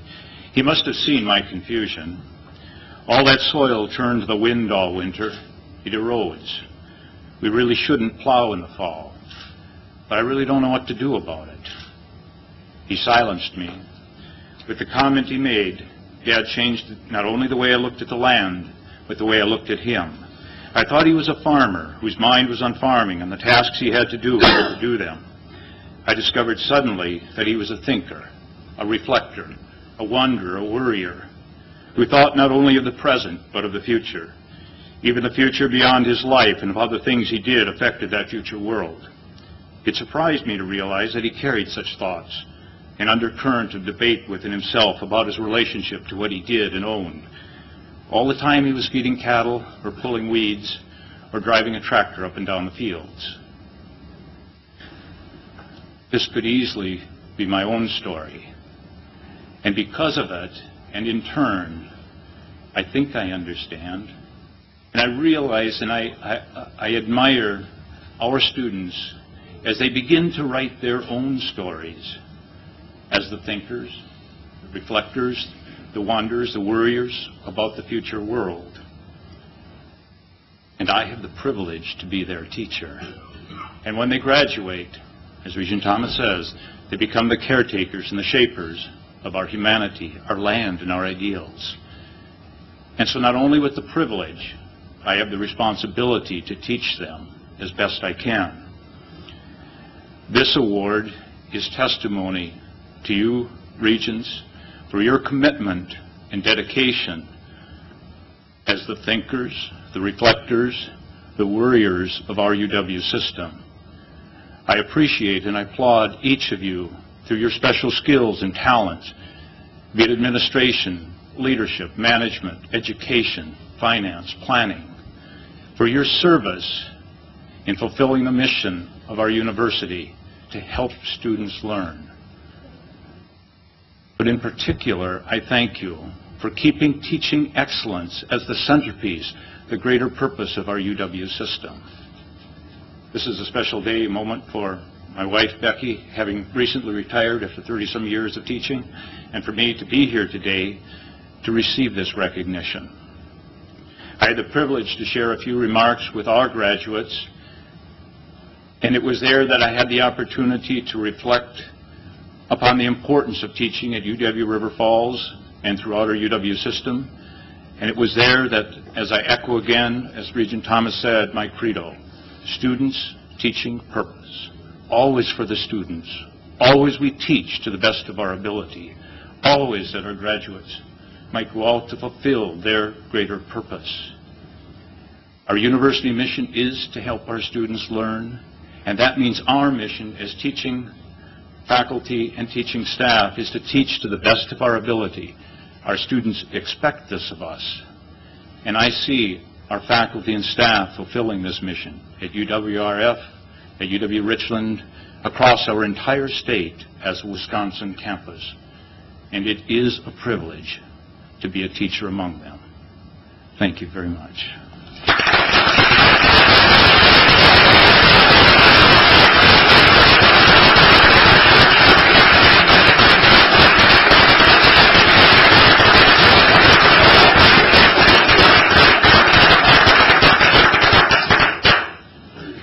Well, I'm um, to present the third and final award, and it is the Department Award, being presented to the Department of Math, Statistics, and Computer Science at the University of Wisconsin-Stout. This department enthusiastically and strongly promotes the philosophy of hands-on, minds-on learning, effectively using technology to enhance teaching and learning. And one of the things that really, truly impressed the committee was when we discovered that um, after identifying a problem with respect to lower level math um, grades and, and le- lower level math courses, the fac- faculty collectively and collaboratively, you know that word, right? Okay, you got that, Jeff. Okay, um, effectively improved student learning in lower level math courses and therefore aided in the retention of first year students. Failure and withdrawal rates dropped by an average of 55% in beginning algebra. Other statistics that, or, or impressive data, if you will, that we were just totally blown away by, the department received a 450,000 FIPSE, FIPSE grant from the uh, U.S. Department of Education to study the impact on student retention and to expand the format to other courses and other schools throughout the state. In other words, replication. And since the fall of 2005, this department and its faculty have collaborated with industry to provide live projects for the students that provide actual software engineering experience. Companies such as Lockheed Martin and Thomson West, um, as examples, have participated in this by providing student projects uh, within uh, industry guidelines. And the list goes on in, in your materials. I, I want to say also that the faculty of this department have proven that they inspire the spirit of innovation in our students by, de- de- by demonstrating innovation themselves. I suspect that not only um, the students who are in the majors within this department, but also um, those pursuing um, their gen ed requirements, as taught by these professors, not only um, learn skills that, that allow them to apply their skills in their daily lives, but in the world beyond the classroom, in their own neighborhoods, for example. And as a result, as, as the students themselves attested, they're employed by some of the leading national companies in their fields. The students have written to us about um, what it means to have been taught by these professors, and I'll just quote a couple from them. Um, this was Ms. Boyd, and she said, this department is so great at teaching that internships just fall into our lap. I've had many offers for actuarial scholarships and for IT positions as well. The math department has such great connections with its previous students who are out in the workforce and others who have not had the chance to attend Stout because the faculty teaches the students so well. We have our choice of jobs, which is an important factor in today's market. Another student um, said, I had the pleasure of having instructors who were not only up to date on the material via their interest in the field and attendance at professional learning events, but who also wanted to be better teachers. There are several research opportunities available to students, and I participated in a project to further the body of mathematics known as Lie algebras. I don't know what that is, but I'm sure that student knows what that is. Um, Use my imagination, maybe not, okay. Um, This gave gave me the ability to apply the material firsthand as well as further my knowledge of the fields taught to me. The students um, clearly benefited, but the impression that we were also left with is so have the faculty, both within the department and outside. So today we celebrate these professors who foster leadership by teaching what it means to lead. And as the students become involved in their learning, they energize their communities. The professors have sought most fundamentally to present new ways of teaching science and mathematics through formal lesson studies and the scholarship of teaching and learning, often referred to as SoTL. I am very impressed that with, uh, with the way that these scholars, uh, scholar teachers frame their look at uh, pedagogic, whatever that word is, issues, and how they seek new avenues to motivate students and help them succeed, among other things, through a tutorial, tutoring and science learning lab. Today, we uh, would like to recognize Professor Bendel and his colleagues, if you would stand. Um, and as examples of the tremendous work being done by so many professors throughout our system, but particularly on this campus. This is a small gesture for an enormously, but an enormously significant one because we want to say sincerely, thank you. So, your award. Come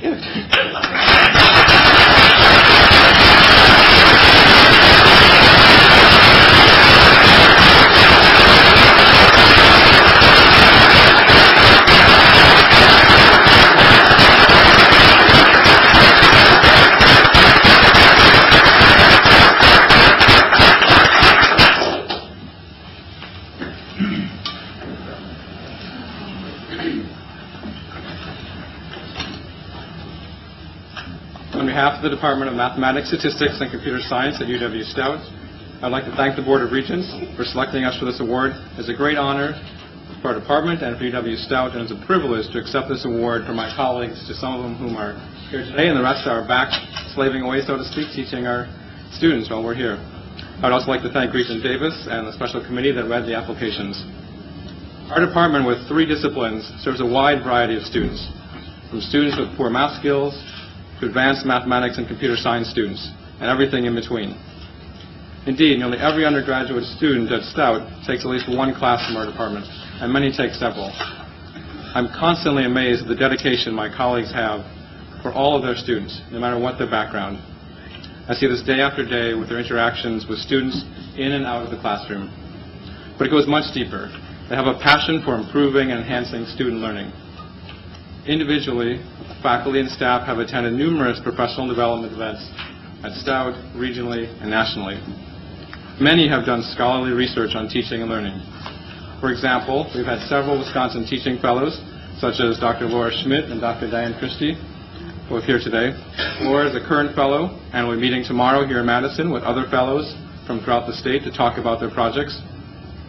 Other faculty have created new learning opportunities for students through undergraduate research experiences, independent study opportunities, and partnerships with industry. Beyond our individual efforts, much of our success is due Beyond our individual efforts, much of our success is due to the strong spirit of collaboration within the department. Many of our scholarly efforts have been in groups where faculty and staff can share ideas, resulting in improved learning in many classes. Informally, colleagues are always happy to share ideas with others, and many meet regularly to discuss current issues and look for areas in need of improvement. It is this shared sense of mission that makes our department excel. If time permitted, I could say great things about each of my colleagues, but I would like to quickly recognize a few of them. Two are here today.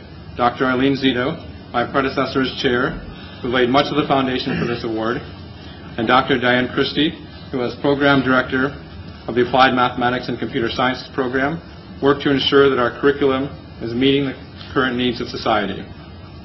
Two others were unable to attend. Dr. Jean Foley, the director of our Math Teaching Learning Center, who, as Regent Davis mentioned, has done an amazing job overseeing a transformation in how we teach our low-level mathematics courses. And Dr. Petre Ghenciu, who pushed us to apply for this award, did much of the work in preparing our application, and for the moment, thankfully, teaching my class in about a half an hour so I could be here today. This award recognizes not only the efforts of the instructional faculty and staff in the Department of Mathematics, Statistics, and Computer Science, but many other people at UW Stout. Our Chancellor, Charles Sorensen, and Provost, Julie Furst-Bowe, who have supported the department in many ways, our Dean for many years, John Murphy, who continually advocated for our department and worked with us to hire committed staff members, our clerical staff who interact frequently with students and help make our jobs easier, and our student tutors and lab assistants who are equally passionate about helping their fellow students. When we heard that we had won this award, one of my colleagues said, now we need to do even better. As Stout develops new programs and grows in its role as Wisconsin's Polytechnic University, our department will be called upon even more to serve a wide array of students. It is this attitude within our department that will help us prepare students to meet the needs of Wisconsin in the 21st century. Thank you.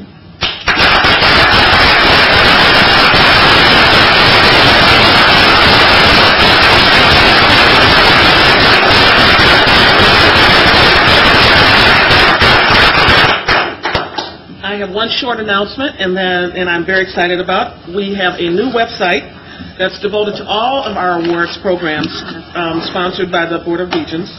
And while it's still under construction, you can take a sneak peek, um, which it will feature an online gallery of the current and past award recipients. So just click on the UW Systems Board of Regents website um, and click on Region Awards, and you're there for a wonderful um, virtual experience um, that allows you to, at your leisure, continue to celebrate our award recipients, both today and tomorrow. So I just want you to make sure you knew about that. And then I, I owe an apology. Um, I have to be back in Milwaukee for an event, so I won't be able to join you, but I'm hoping that everyone here will join our award recipients, their, their family, their colleagues, at a reception upstairs in the 19th floor that is, is immediately following this, um, this, uh, Meeting. Thank you. oh,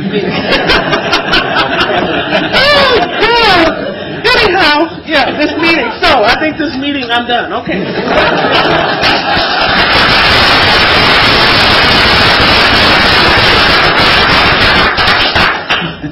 Well, Re- Regent Davis, would you like to make a motion to adjourn this meeting? I so move. Is there a second? Second. Uh, All in favor of the motion, say aye. Aye. All opposed? Motion carries. We are adjourned. Thank you very much, and we look forward to seeing you on the 19th floor.